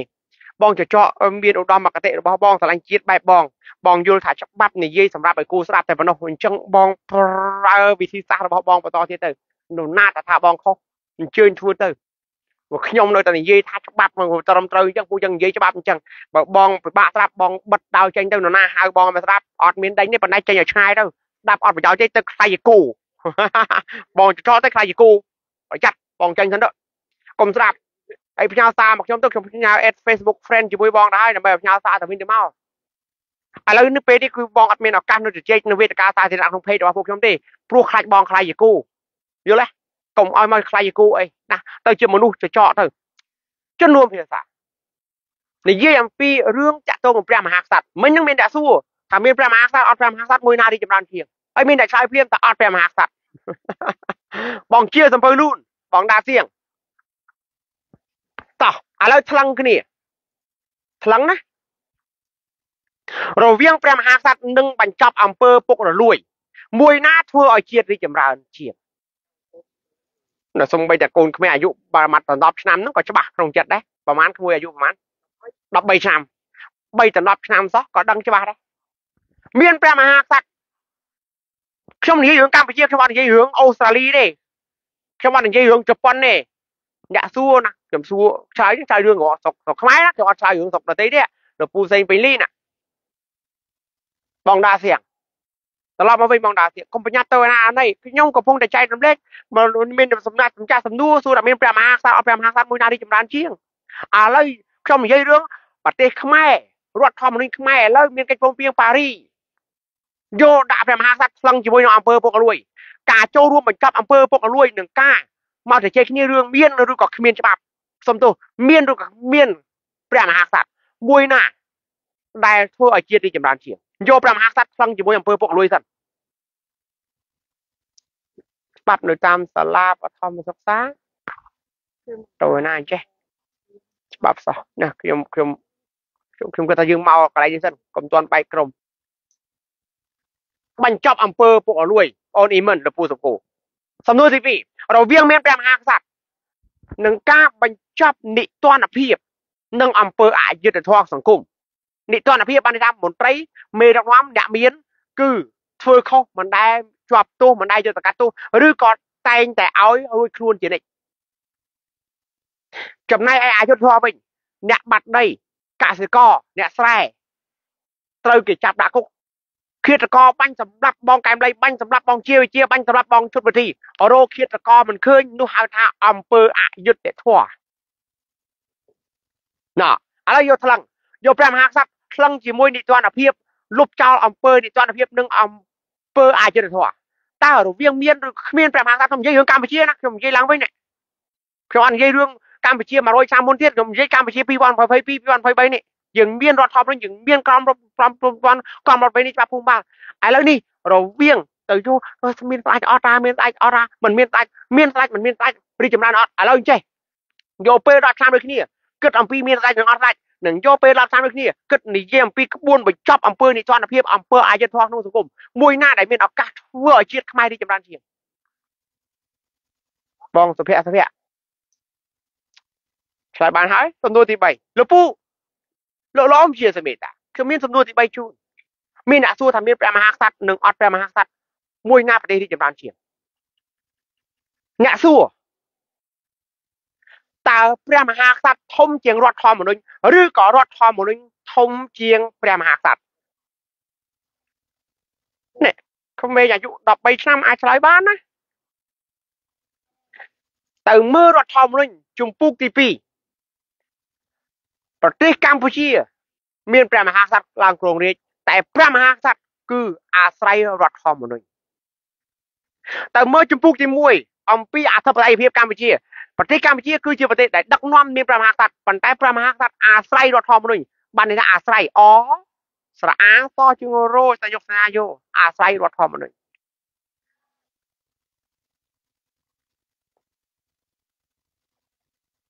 ទេទៅណាអញ្ចេះ មានបងប្អូនទៅកន្លែងផ្សេងទៀតហើយបងចម្រើនកែវទៅណាបងលូនបងបាយរៀងថាច់បងថាន់ឌីអញ្ចឹងក៏មានសំណួរទី4យរវាងធ្វើឲ្យមានព្រះមហាក្សត្រតើមួយថ្ងៃមួយថ្ងៃអង្គុយនិយាយគ្នាឈ្លោះគ្នារឿងមានក្សត្រនិងអត់ខ្សាច់ក្សត្រមានក្សត្រនិងអត់ក្សត្រនិងបបួលគ្នា ប្តឹងទាមទារឲ្យកិច្ចព្រមព្រៀងសន្តិភាពទីក្រុងប៉ារីអនុវត្តមួយណាធ្វើឲ្យជាតិខ្មែរមានឯករាជ្យជាតិខ្មែរមានអធិបតេយ្យឯករាជ្យជាតិខ្មែរមានបូរណភាពទឹកដីឯករាជ្យជាតិខ្មែរមានឯកភាពជាតិជាតិខ្មែរមានការស្ដារនិងការកសាងកម្ពុជាឡើងវិញរីកចម្រើនជជែកគ្នា40ឆ្នាំអំពីស្ដេចមានស្ដេចអត់ស្ដេចជេរស្ដេចមានអ្នកជេរស្ដេចមានអ្នកបំផើមស្ដេចបំផើមយល់ពាក្យហ្នឹងទេលើកសម្ដេចលើកស្ដេចទូល ទៅណាក៏ទូលដែរស្ដេចអស់ចាណាស់ស្ដេចអស់ចាណាស់អស់ចាស្អីបើស្ដេចក្រោមរដ្ឋធម្មនុញ្ញហ្នឹងរដ្ឋធម្មនុញ្ញលើព្រះមហាក្សត្រណាតែមើលរដ្ឋធម្មនុញ្ញអីឃើញព្រះមហាក្សត្រចុះហត្ថលេខាអីណាលើកលែងទោសណាគេអ្នកស្នើលោកហ៊ុនសែនគឺនាយករដ្ឋមន្ត្រីអីឃើញព្រះមហាក្សត្រឡាយប្រហោះសលេខាអីណា បង្កើតច្បាប់អីណាប្រកាសច្បាប់ណាគេអ្នកប្រើគឺសភាជាតិអ្នកប្រើអីលឺសូព្រះមហាក្សត្រនឹង អីអីលើកលែងទោសឲ្យអ្នកទោសណាអ្នកទោសណាអីចឹងទៅណាគេដែលស្នើនាយករដ្ឋមន្ត្រីអីគេកែរដ្ឋធម្មនុញ្ញម្ដងម្ដងឃើញព្រះអង្គនឹងគឺជាឡាយឡាយផលេខាណាគេដែលស្នើរដ្ឋសភាព្រឹទ្ធសភាអីឃើញពេលចុះកិច្ចព្រមព្រៀងពេញថែមរឿងពុំដែនម្ដងម្ដងព្រះអង្គជាអ្នកសរសេរជាអ្នកចុះអត្ថលេខាណាគេអ្នកប្រើសភាជាតិព្រឹទ្ធសភារដ្ឋសភាមានមានមានតើអានរដ្ឋធម្មនុញ្ញអត់ព្រះអង្គមានសិទ្ធិ ផ្ញើសារលិខិតប៉ុន្តែសភាមិនយកទៅជជែកក្នុងសភាទេតែមើលរដ្ឋធម្មនុញ្ញព្រះអង្គគ្មានអំណាចទាំងអស់អីព្រះអង្គគឺជាផ្កាយផុតលេខអាចប្រកាសដាក់ប្រទេសខ្មែរក្នុងគ្រាអាសន្នណាតែមើលនៅណាគេអ្នកប្រកាសទេគឺរដ្ឋសភាប្រតិភិជាអ្នកប្រកាសឲ្យព្រះអង្គជាអ្នកប្រកាសជំនួនិយាយភាសាវិភាព្រះអង្គដូចជាមេក្រូអញ្ចឹងព្រះអង្គដូចជា Facebook ឥឡូវអញ្ចឹងពួកយើងទៅចែកគ្នាទៅចែកខ្លឹមសារតែ Facebook គាត់តែចម្លងឲ្យចេញទេ ព្រះអង្គគ្រាន់តែអញ្ចឹងព្រោះព្រះអង្គគឺជានិមិត្តរូបព្រះអង្គគឺតាំងជាអធិបតចាត់តាំងជាអធិបតីអញតើមើលសិនទៅកុំជឿខ្ញុំនិយាយនឹងឲ្យទៅស្ដាប់ទៅអានខ្លួនឯងអញ្ចឹងជំនុំវិធានណាមកចំណាយពេល30ឆ្នាំនិយាយរឿងមានស្ដាច់និងអត់ស្ដាច់ហើយនឹងចំណាយពេល30ឆ្នាំដើម្បីប្រឹងដល់ជាមទាឲ្យកិច្ចព្រមព្រៀងបារីអនុវត្តបងប្អូនរើសមួយទៅបើបងប្អូនយល់ថាតែជែកមិញហ្នឹងម្ចាស់សំណួរខ្ញុំអស់អស់ចំណាយប៉ុណ្ណឹងសិនចុះ ចម្លើយរបស់ខ្ញុំប៉ុណ្ណឹងសិនចុះអឺបើមានស្ដាច់នឹងខ្មែរមិននេះចម្រើនទេបើអត់ស្ដាច់បានខ្មែរនេះចម្រើនអញ្ជើញទៅជែកគ្នាចុះហើយចាំមើល30ឆ្នាំក្រោយកើតអីគេហើយបន្តបន្តទៀតរំលាយស្រាច់ហើយបានបានប្រទេសរីកចម្រើនទៅបន្តអង្គុយរំលាយស្រាច់ទៅចាំមើលមើលប្រទេសប្រទេសរីកចម្រើនអត់បកលោកលោកអ៊ំមករ៉ាំប៉ែនសុខសប្បាយទៅអត់លោកលោកអ៊ំបារ៉ាំប៉ែនហ្នឹងស្គាល់អ្នកមីនធីតាគ្រូសច្បាស់ទៅទៀតខ្ញុំឃើញនៅ friend ជាមួយនៅមីនធីតាគ្រូស អ្នកមីនធីតាគ្រូសនៅនៅស្រុកខ្មែរនេះជួយការងារជាមួយពួកខ្ញុំហើយអ្នកមីនធីតាគ្រូសស្គាល់ស្រូនច្បាស់ដូចគ្នាសុភៅកិច្ចព្រមព្រៀងប៉ារីសនិងសុភៅរដ្ឋធម្មនុញ្ញ93ហ្នឹងបានពីមីនធីតាគ្រូសណាស់ណាបងចម្រានកែវបងជំនុំភាសាលោកអ៊ំជាសមេតាស្លេះប៉ុណ្ណឹងណារឿងព្រះមហាក្សត្រអត់ព្រះមហាក្សត្រយកមកថ្លឹងជាមួយនឹងជាតិថ្លឹងជាមួយរដ្ឋធម្មនុញ្ញថ្លឹងជាមួយកិច្ចព្រមព្រៀងប៉ារីសថ្លឹងជាមួយនឹងអង្គើអយុធធម៌ថ្លឹងជាមួយអង្គើពុកអលួយថ្លឹងតែជាមួយអង្គើពុកអលួយមួយព្រះអង្គ នៅស្រាជាងអង្គើពុកអលួយទៅផងទេមិនជាការប្រមាថមើលងាយទេណាស្ដាប់ឡើងវិញណាព្រះអង្គអត់អំណាចព្រះអង្គគឺជាព្រះមហាក្សត្រជានិមិត្តរូបជាបាវចនាជាតិសាសនាព្រះមហាក្សត្រយល់ពាក្យបាវចនាណាទៅដល់លុតជង្គង់ស្វ័យបង្គំនឹងហើយគឺជានិមិត្តរូបរបស់យើងយើងទៅផ្ទះយើងទៅដល់ជំរាបសួរម្ដាយឪពុកយើងនឹងហើយហៅថាសុជីវធម៌ជាទីសក្ការៈបូជា យើងឃើញមាន រូបសំណាក់ព្រះពុទ្ធទៅដល់លុតជង្គង់ស្វ័យបង្គំអាហ្នឹងគេហៅថាជាជាអធិបគេគេហៅថាជានិមិត្តរូបណាឲ្យយល់ពាក្យហ្នឹងផងណាបងប្អូនបាវចនាណាមិនជាការអាម៉ាត់គូលេងស្រនយកព្រះមហាក្សត្រមកថ្លឹងលេងស្រាជាងអង្គើពុកលួយកំពុងយើងអកាអវត្តជាតិមិនចង់បើអង្គើពុកលួយពេញទឹកពេញដីអីខ្មែរណាប្រឹងតឡាការមិនពលរដ្ឋខ្មែរនឹងយំពេញប្រទេសមកបើអង្គើពុកលួយពេញទឹកពេញដីអញ្ចឹង ចង់ធ្វើសម្បត្តិកំណត់ចង់ធ្វើធ្វើគួរសារអីបើថាធ្វើសម្បត្តិកំណត់ហ្នឹងវត្តមានលុយឲ្យលើហ្នឹងចេញសម្បត្តិកំណត់ឲ្យមួយស្លឹកអត់តាមច្បាប់ហ្នឹងត្រូវចេញឲ្យមួយស្លឹកជាច្បាប់ដើមហើយត្រូវមានច្បាប់ចម្លងពីរបីច្បាប់ទៅទៀតហើយសួរទៀតថាក្មួយឯងបងឯងហ្នឹងចង់បានប៉ុន្មានស្លឹកទុកអត់ទៅសួរទៅផងចិត្តមានថ្ងៃហើយមានមន្ត្រីម្នាក់ធ្វើអញ្ចឹងដាក់ស្រោនណាបងស្រីខ្ញុំដឹងថាបងស្រីមើលកិច្ចព្រមព្រៀងប៉ារី ឃើញមុខខ្ញុំមកនិយាយរកខ្ញុំខ្ញុំដឹងថាបងគឺប្រកាសជាមានខ្លួនហើយដឹងអញ្ចឹងហើយបងធ្វើអំពើអញ្ចឹងដាក់ស្រោនទៀតណាឪពុកខ្ញុំបំរុងដកលុយ10ដុល្លារឲ្យគាត់ខ្ញុំថាអត់ឲ្យទេកុំឲ្យព្រោះធ្វើសបត់កំណើតអត់មានយកលុយទេអត់មានអស់លុយមកកាក់ម៉ាស៊ីនទេបងប្អូននេះលុយយើងយើងទេយើងគោរពច្បាប់ មិនមិនមិនមិនអត់អាណិតមន្ត្រីអាណិតមន្ត្រីណាបានជារងនេះខំប្រឹងជួយគោរពច្បាប់កុំឲ្យមន្ត្រីឈឺក្បាលដោយសារពួកយើងធ្វើខុសច្បាប់អាណិតឯនោះណាបើខ្ញុំទៅធ្វើចោលនឹងរវល់មន្ត្រីពេញភូមិឥឡូវហ្នឹងបើខ្ញុំទៅធ្វើចោលប្លន់ហ្នឹងមន្ត្រីរវល់ពេញប្រទេសឥឡូវហ្នឹងពួកក្បាលប៉ុណ្នេះណាអាចធ្វើចោលធ្វើអីហ្នឹងងាប់ហើយឈឺក្បាលមន្ត្រីងាប់មកអញ្ចឹងអាបងលីនយកចាំបវល់បងធ្វើទៅបាននិយាយទៅសាច់លឺម្លេះ មិនធ្វើទេទោះបីបបួលក៏ដោយខ្ញុំចង់បញ្ជាក់ដល់ចេះពួកយើងនេះជួយមន្ត្រីហើយណាពេលដែលពួកយើងអត់ធ្វើខុសច្បាប់ពួកយើងមិនឲ្យគាត់ឈឺក្បាលដោយសារយើងណាឲ្យខំឲ្យមន្ត្រីធ្វើតាមក្រមសីលធម៌វិជ្ជាជីវៈបំពេញមុខងារអ្នកជាមន្ត្រីវិញទេតើអូបើទៅប៉ុណ្្នឹងទេពួកយើងជួយផ្សាយច្បាប់ហ្នឹងឲ្យពលរដ្ឋអតីតចេះគ្រូច្បាប់មើលមើលមិនជួយកាត់បន្ថយការឈឺក្បាលរបស់មន្ត្រីអូណោះណោះលោកមន្ត្រីណោះ ទេលើកលែងតែលោកគឺពាក់ស្លាកជាមន្ត្រីទេជាតោជាខ្លាទេពាក់ស្បៃលាទេមកធ្វើទុកបុកម្នេញខ្មែរទេអ្នកឯងមិនចូលចិត្តអាការផ្សាយរបស់ពួកយើងហើយដូចជាបងម្នាក់ខាងដើមអញ្ចឹងចេញមកតែមើលងាយច្បាប់តែខ្លួនឯងរស់គ្មានច្បាប់មិញបានកើតក៏មានមានសម្បត្តិកំណើតការក៏មានសម្បត្តិអភិភិហើយកប់ទៅវិញហ្នឹងក៏មានលិខិតមរណៈមានរបស់ធ្លាប់ខ្លួនឯងដាក់ដាក់ដាក់ច្បាប់ទាំងអស់តើមិនក៏ប្រញាប់ភ្លេចម្លេះមកមកហៅថាគេនឹងឯណា បើប្រទេសនឹងមិនដូរមេដឹកនាំមិនដូរមន្ត្រីទេទៅទៅសូត្រច្បាប់ឲ្យគូស្ដាប់អីណាខោអស់ចាតែម្នាក់ឯងមកយកម្នាក់ឯងទៅទេតែធ្វើទៅចុះបងប្រមូលព្រមគ្នាបងទៅធ្វើទៅតិចតែសាប់ដល់ថ្ងៃណាមួយសាប់តែខ្ញុំឃើញបើកឡាននេះបើកខាងស្ដាំខ្ញុំខ្ញុំហៅចុះអត់ឲ្យបើកបើកឡានខាងស្ដាំនេះព្រោះគោនេះអានោះតែធ្វើជាអ្វីដែលមិនមែនគោទៅបើកឆ្វេងម្នាក់ឯងបើកដូចចលេនបើកដូចស្អីកុំធ្វើ កុំធ្វើតាមច្បាប់ព្រោះច្បាប់គោណានោះណាតមានសំណួរអីទៀតទេអឺមានចំនួននេះលយតែចំនួននេះយើងសល់ពេលប៉ុណ្ណឹងអាចបកស្រាយក្រាន់ឬក៏អត់ណាចំនួននេះលយមាន3ប្រតូចចំនួនទី1សួរថាតើកិច្ចព្រមព្រៀងសន្តិភាពទីក្រុងប៉ារី23ដុល្លារ1991អនុវត្តបានប៉ុន្មានភាគរយហើយនឹងតើចំណុចចំណុចណាដែលមិនទាន់អនុវត្តហើយគួរតែ ចូលរួមជំរុញបែបណាសំណួរអីក៏ធំធំយ៉ាងនេះបងនាលុយអើយនាលុយសុខសប្បាយទេបងនាលុយបងកណីភាសាថៃពីរមានរោបងសួរស្ដីបងអូនទាំងពីរហ្នឹងចំនួនគឺមានរោតែមើលបាច់ចាក់ណានុក្រមសម្ដេចសង្ឃជួនណាតផងនិយាយអំពីកិច្ចព្រមព្រៀងប៉ារីណាអំពីនេះអំពីនោះអត់រោទេប៉ុន្តែចំនួនគឺមានរោ ហើយបងកណីភាសាថៃបងជួយសរសេរឈ្មោះបងផងដើម្បីឲ្យពួកខ្ញុំបានហៅហើយខ្ញុំពួកខ្ញុំព្យាយាមចំណាំព្យាយាមចំណាំ profile ពួកយើងកំពុងតែរៀបចំដែរផែនការរឿងកិច្ចព្រមព្រៀងសន្តិភាពទីក្រុងប៉ារីសទៅប្រទេសសៀមព្រោះពួកយើងក៏បានជជែក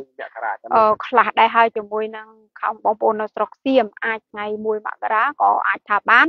ពីព្រោះខែ11គឺពួកយើងមានការវិភាគពេញហើយនៅបាត់ដំបង និងកំពត និងខែ12គឺអាចកំពង់សោមណាអញ្ចឹងមានតែខែ1បងដាសៀងដូចអត់អស់ចិត្តបងដាសៀងមកជំនួសវាសា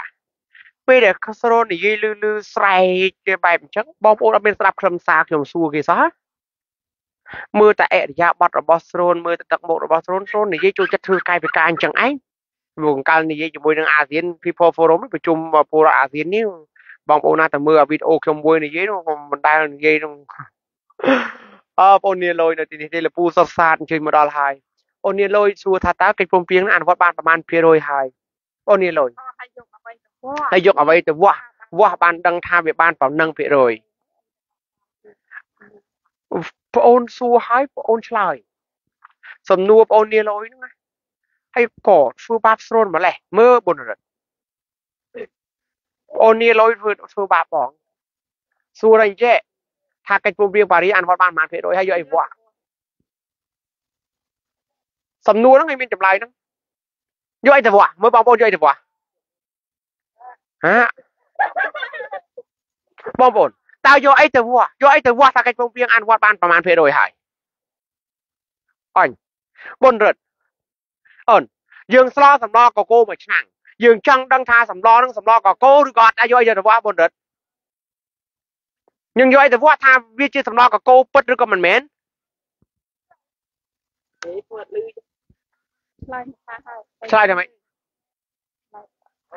យករូបមន្តហើយបងអូននេះលយថាកិច្ចព្រមព្រៀងប៉ារីអនុវត្តបានបានភាគរយអីវ៉ាយកកិច្ចព្រមព្រៀងប៉ារីទៅវ៉ាហ្នឹងហើយអើបើសួររឿងកិច្ចព្រមព្រៀងទៅឲ្យយកលោកហ៊ុនសែនទៅវ៉ាលោកហ៊ុនសែនថា យកស្រនអ្នកថាយកសភាអ្នកថាយកបណ្ឌិតអ្នកប្រាជ្ញលោកលោកឡៅមកហៃអ្នកថា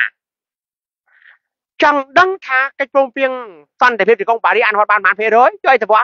ទៅអានកិច្ចព្រមព្រៀងប៉ារីសិនទៅណ៎មានមានមានអ្នកឆ្លើយត្រូវណាបងប្អូនស្រីនាងឆ្លើយត្រូវណា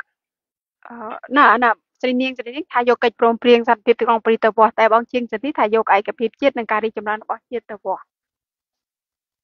បងអាហ្នឹងជាជាជាជាជាលទ្ធផលតើបងគេគេបងអូននាងហ្នឹងសួរថាយកអីទៅវាស់ឲ្យយកអីទៅវាស់យកកិច្ចព្រមព្រៀងប៉ារីទៅវាស់ហ្នឹងហើយអញ្ចឹងចង់ដឹងអនុវត្តបានប៉ុន្មានភាគរយទី1បងអូនបងនាងលុយទៅមើលរូបមន្តសិនហើយបន្ទាប់មកមកផ្ទៀងផ្ទាត់មួយលទ្ធផលដូចជាបងជាងសិទ្ធិឆ្លើយនោះបងជាងសិទ្ធិអាហ្នឹងអត់ហៅថាវាស់ទេអាហ្នឹងហៅថាយកលទ្ធផលយកទៅវាជាផលតើមិនចឹងឯងបងសុកជាបងទេវុធី យកសកម្មភាពទៅវាស់សកម្មភាពជាលទ្ធផលទេបងឧទាហរណ៍ឥឡូវអញ្ចេះក្នុងកិច្ចព្រមព្រៀងសន្តិភាពកុងប៉ារីសសរសេរអំពីរបៀបនៃការរំសាយកងទ័ពខ្មែរទាំងអស់មិនចឹងអញ្ចឹងយើងយកកិច្ចព្រមព្រៀងប៉ារីសមកវាស់មកហើយបន្តមកទៅទៅមើលទាំងអស់គ្នាទៅមើលទាំងអស់គ្នាថាតើគេធ្វើតាមនឹងអត់បងពៅមករាបងយិនសាបងបងស្រីស្រីមុំងិនបងងិនស្រីមុំ លពូចកសេអាលទ្ធផលហ្នឹងគេយកទៅទៀងទាត់គេយកទៅវក់តាតាតើកិច្ចព្រមព្រៀងប៉ារីសស្អីចឹងទៅធ្វើអញ្ចឹងអត់ហើយកន្លងមកខ្ញុំតែងតែប្រើពាក្យថាអនុវត្តមិនទាន់បាន20%មិនបាន20%តែយកខ្ញុំជួយទៅវោះខ្ញុំយកការយកកិច្ចព្រមព្រៀងប៉ារីសទៅវោះនឹងឯងឧទាហរណ៍ក្នុងកិច្ចព្រមព្រៀងសន្តិភាពកុងប៉ារីសសភាជួយឆ្លើយឆ្លងជាមួយបងក្នុងកិច្ចព្រមព្រៀងប៉ារីសសរសេរថា ឲ្យមានការរំសាយកងទ័ពខ្មែរគ្រប់ភាគីតើមានការរំសាយដែរទេគឺចង់ដឹងថាមានការរំសាយឬក៏មិនរំសាយគឺលុះត្រាតែពួកយើងប្តឹងទៅតុលាការអន្តរជាតិសភាអត់ឆ្លើយសំណួរបងទេសំណួរតើក្នុងការអនុវត្តកិច្ចព្រមព្រៀងប៉ារីសដំណាក់កាលអន្តរកាលតើអ៊ុនតាក់យូណាមិកមានមករំសាយកងទ័ពខ្មែរគ្រប់ភាគីដែរទេអឺបើសួរថាយូណាមិកឬក៏អ៊ុនតាក់មកគឺមកបានមក សុភីបងចាក់ឡើងវិញបើអត់ចង់ឆ្លើយនិយាយផ្សេងបងសួរម្ដងទៀតពីព្រួយដើម្បីឆ្លោះបញ្ចាំងឲ្យឲ្យអ្នកស្ដាប់ហ្នឹងយល់អត់យល់សំណួរទេសំណួរសួរថាតើមានការអនុវត្តឲ្យមានការរំសាយកងទ័ពខ្មែរគ្រប់ភាគីដែរទេមានឬក៏មិនមានអត់ឃើញឆ្លើយទេ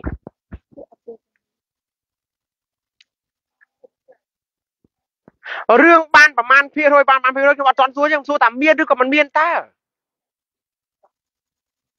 មានការប្រកាសដកកងទ័ពបរទេសទេ មានការបោះឆ្នោតទេ មានការបង្កើតសភាធម្មនុញ្ញទេ មានការប្រកាសរដ្ឋធម្មនុញ្ញទេ មានការប្រកាសរដ្ឋាភិបាលថ្មីទេថាមានទាំងអស់ប៉ុន្តែសំណួរសួរថាយកអីវ៉ា យកកិច្ចព្រមព្រៀងប៉ារីសទៅពណ៌ហ្នឹងហើយវាមាន មានការដកកងទ័ពទេថាមានមិនក៏អត់មានក៏ប៉ុន្តែតើមានបានធ្វើតាមអ្វីដែលកិច្ចព្រមព្រៀងប៉ារីប្រើអត់កិច្ចព្រមព្រៀងប៉ារីថាត្រួតពិនិត្យតាមដានស៊ើបអង្កេតបញ្ជាក់ជាលេខលក្ខអក្សរវាអត់មាន វាមានតែការរំសាយកងទ័ព ក៏ប៉ុន្តែអត់មានឯកសារម្នាក់ម្នាក់លោកហ៊ុនសែនក៏ថាគាត់រំសាយលោកពលពតក៏គាត់ថារំសាយប៉ុន្តែមកខាងមកខាងថាតែរំសាយតែមានអីជាការបញ្ជាក់ទេអត់នោះហើយបងអូនវិនីបងអូននេះលយដែលបញ្ជាក់ថាអ្វីដែលគេធ្វើគឺគេធ្វើតែ surface គេធ្វើតែចំពោះមុខតែចាក់ស្ដែងគេអត់ធ្វើតាមនឹងទេឧទាហរណ៍មានការដកកងទ័ព ជំនួយយោធាបរទេសទេថាមានក៏ប៉ុន្តែថាមានជាលិលាអសរដូចសរសេរក្នុងឧបសម្ព័ន្ធទី2ទំព័រ195ដល់202ទេគេអត់មានសរសេរទេពួកយើងទៅសារជាវនៅអង្គការសហប្រជាជាតិផងពួកយើងទៅសុំអង្គការសហជាតិ OAC អក់ឧត្តមស្រងការផងយើងទៅសុំអង្គការសហជាតិទទួលបន្ទុកខាងការសម្របសម្រួលអង្គការសហជីវជាតិផងហើយពួកយើងក៏បានទៅស្នើទៅដល់ អ្នករាយការណ៍ពិសេសអង្គការសហប្រជាជាតិផងពួកគាត់ទៅតែអត់មានអញ្ចឹងអ្នកឯងមានតែសម្បកហើយចុះធ្វើធ្វើបាច់ធ្វើ20%កើតបងវិនីដល់តែបងអូនទៅអានអាមួយមួយនឹងទៅទៀតឧទាហរណ៍គេមានការបោះឆ្នោតទេមានមិនក៏រឿងថាអត់មានការដោះមានទេមានមិនក៏ថាអត់មានការរៀបចំជនភៀសខ្លួនទេមានមិនក៏ថាអត់វាមានទាំងអស់ប៉ុន្តែវាអត់ធ្វើតាមអ្វីដែលបានសរសេរទាំងស្រុងហើយចាំមិនធ្វើទាំងមើលមិនដឹងថាវាមានការអមត់តែជាង20% ថាមកពីយើងបានរៀនវាចុះមានជាទូរលេខជាបែបគណិតវិទ្យាទេថាអត់មានទេការបញ្យល់ថាវាបានទៅជាង20%នេះវាមិនមែនជាការកណនីតាម20តាមតាមគណិតវិទ្យា2បូក2 4ទេព្រោះអីព្រោះវាជាយុទ្ធសាស្ត្រសង្គ្រាមបងពិសិដ្ឋតាស៊ីអូននេះលុយវាមិនមែនជាគណិតវិទ្យាថាឥឡូវឥឡូវថាឥឡូវចេះបងបងបញ្ជាក់ឡើងវិញ សង្គ្រាមនៅកម្ពុជាជាសង្គ្រាមភូមិសាស្ត្រនយោបាយវាជាសង្គ្រាមសម្លកពឹសជាមួយតយងជេកបើចាប់លោកហ៊ុនសែនត្រូវចាប់យួនចាប់សូវៀតបើចាប់លោកពលពតត្រូវចាប់យួនចាប់សូវៀតចាប់ចិនចាប់អាមេរិកចាប់បារាំងចាប់អាស៊ានឃើញទេចាប់មួយវាចម្លងចាប់សម្ដេចអ៊ូសេនុត្រូវចាប់យួនចាប់សូវៀតចាប់ចិនចាប់បារាំងចាប់អាមេរិកចាប់អាស៊ានដល់ពេលអញ្ចឹងមកបកស្រាយឲ្យឃើញកណនីថាប្រហែល20%ហ្នឹងមានតួលេខទេ ថាវាអត់មានទេប៉ុន្តែដល់ទៅអានឯកសារហ្នឹងហើយចាប់អង្គុយឆ្លោះមើលអូអានេះគេថាអញ្ចេះគេថាត្រូវរំសាយកងទ័ពខ្មែរឲ្យបានយ៉ាងហោចណាស់70%សិនទើបអាចរៀបចំការបោះឆ្នោតបានចុះបើភាគីលោកពលពតបានដកខ្លួនចេញពីកិច្ចព្រមព្រៀងប៉ារីសទៅហើយតើមានការរំសាយកងទ័ព70%អត់បើអត់ហើយចុះមានការរំសាយប្រមាណភាគរយគឺមានការរំសាយតាមតែគេថាវាអត់មានឯកសារបញ្ជាក់ វាអត់មានជាលិលាអក្សរទេនេះហើយដែលបញ្ជាក់ថាគឺមានការរំសាយក៏ប៉ុន្តែវាអត់មានតាមកិច្ចព្រមព្រៀងប៉ារីហើយចុះហេតុអីបានជាហ៊ានកណនីដល់មកយ៉ាងហោច20%ហ្នឹងដោយសារតែវាមានឲ្យមានការរៀបចំការបោះឆ្នោតបើកាលណាបញ្ជាក់ឡើងវិញបងប្អូនណាពួកកលុះហ្នឹងបញ្យល10ដងទៀតក៏នៅតែខ្ញុំបញ្យលថ្មីដែរបើកាលណាសង្គ្រាមមិនស្រាកទេការបោះឆ្នោតមិនអាចទៅរួចទេកាលបីនោះ អញ្ចឹងការដករបស់គេនោះគឺគេដកតែចំពោះមុខទេសួរថាអាវុធរបស់គេទម្លាក់ទេអាវុធគេយកលាក់ឃើញនៅពីមុនគេស្ពាយចង់និយាយចឹងមុនមុនអូនតាចូលមកមុននឹងយូរដើម្បីចូលមកគឺគេពាក់អាវទាហានគេបំពាក់អាវុធពេញខ្លួនហើយដើរពេញភូមិ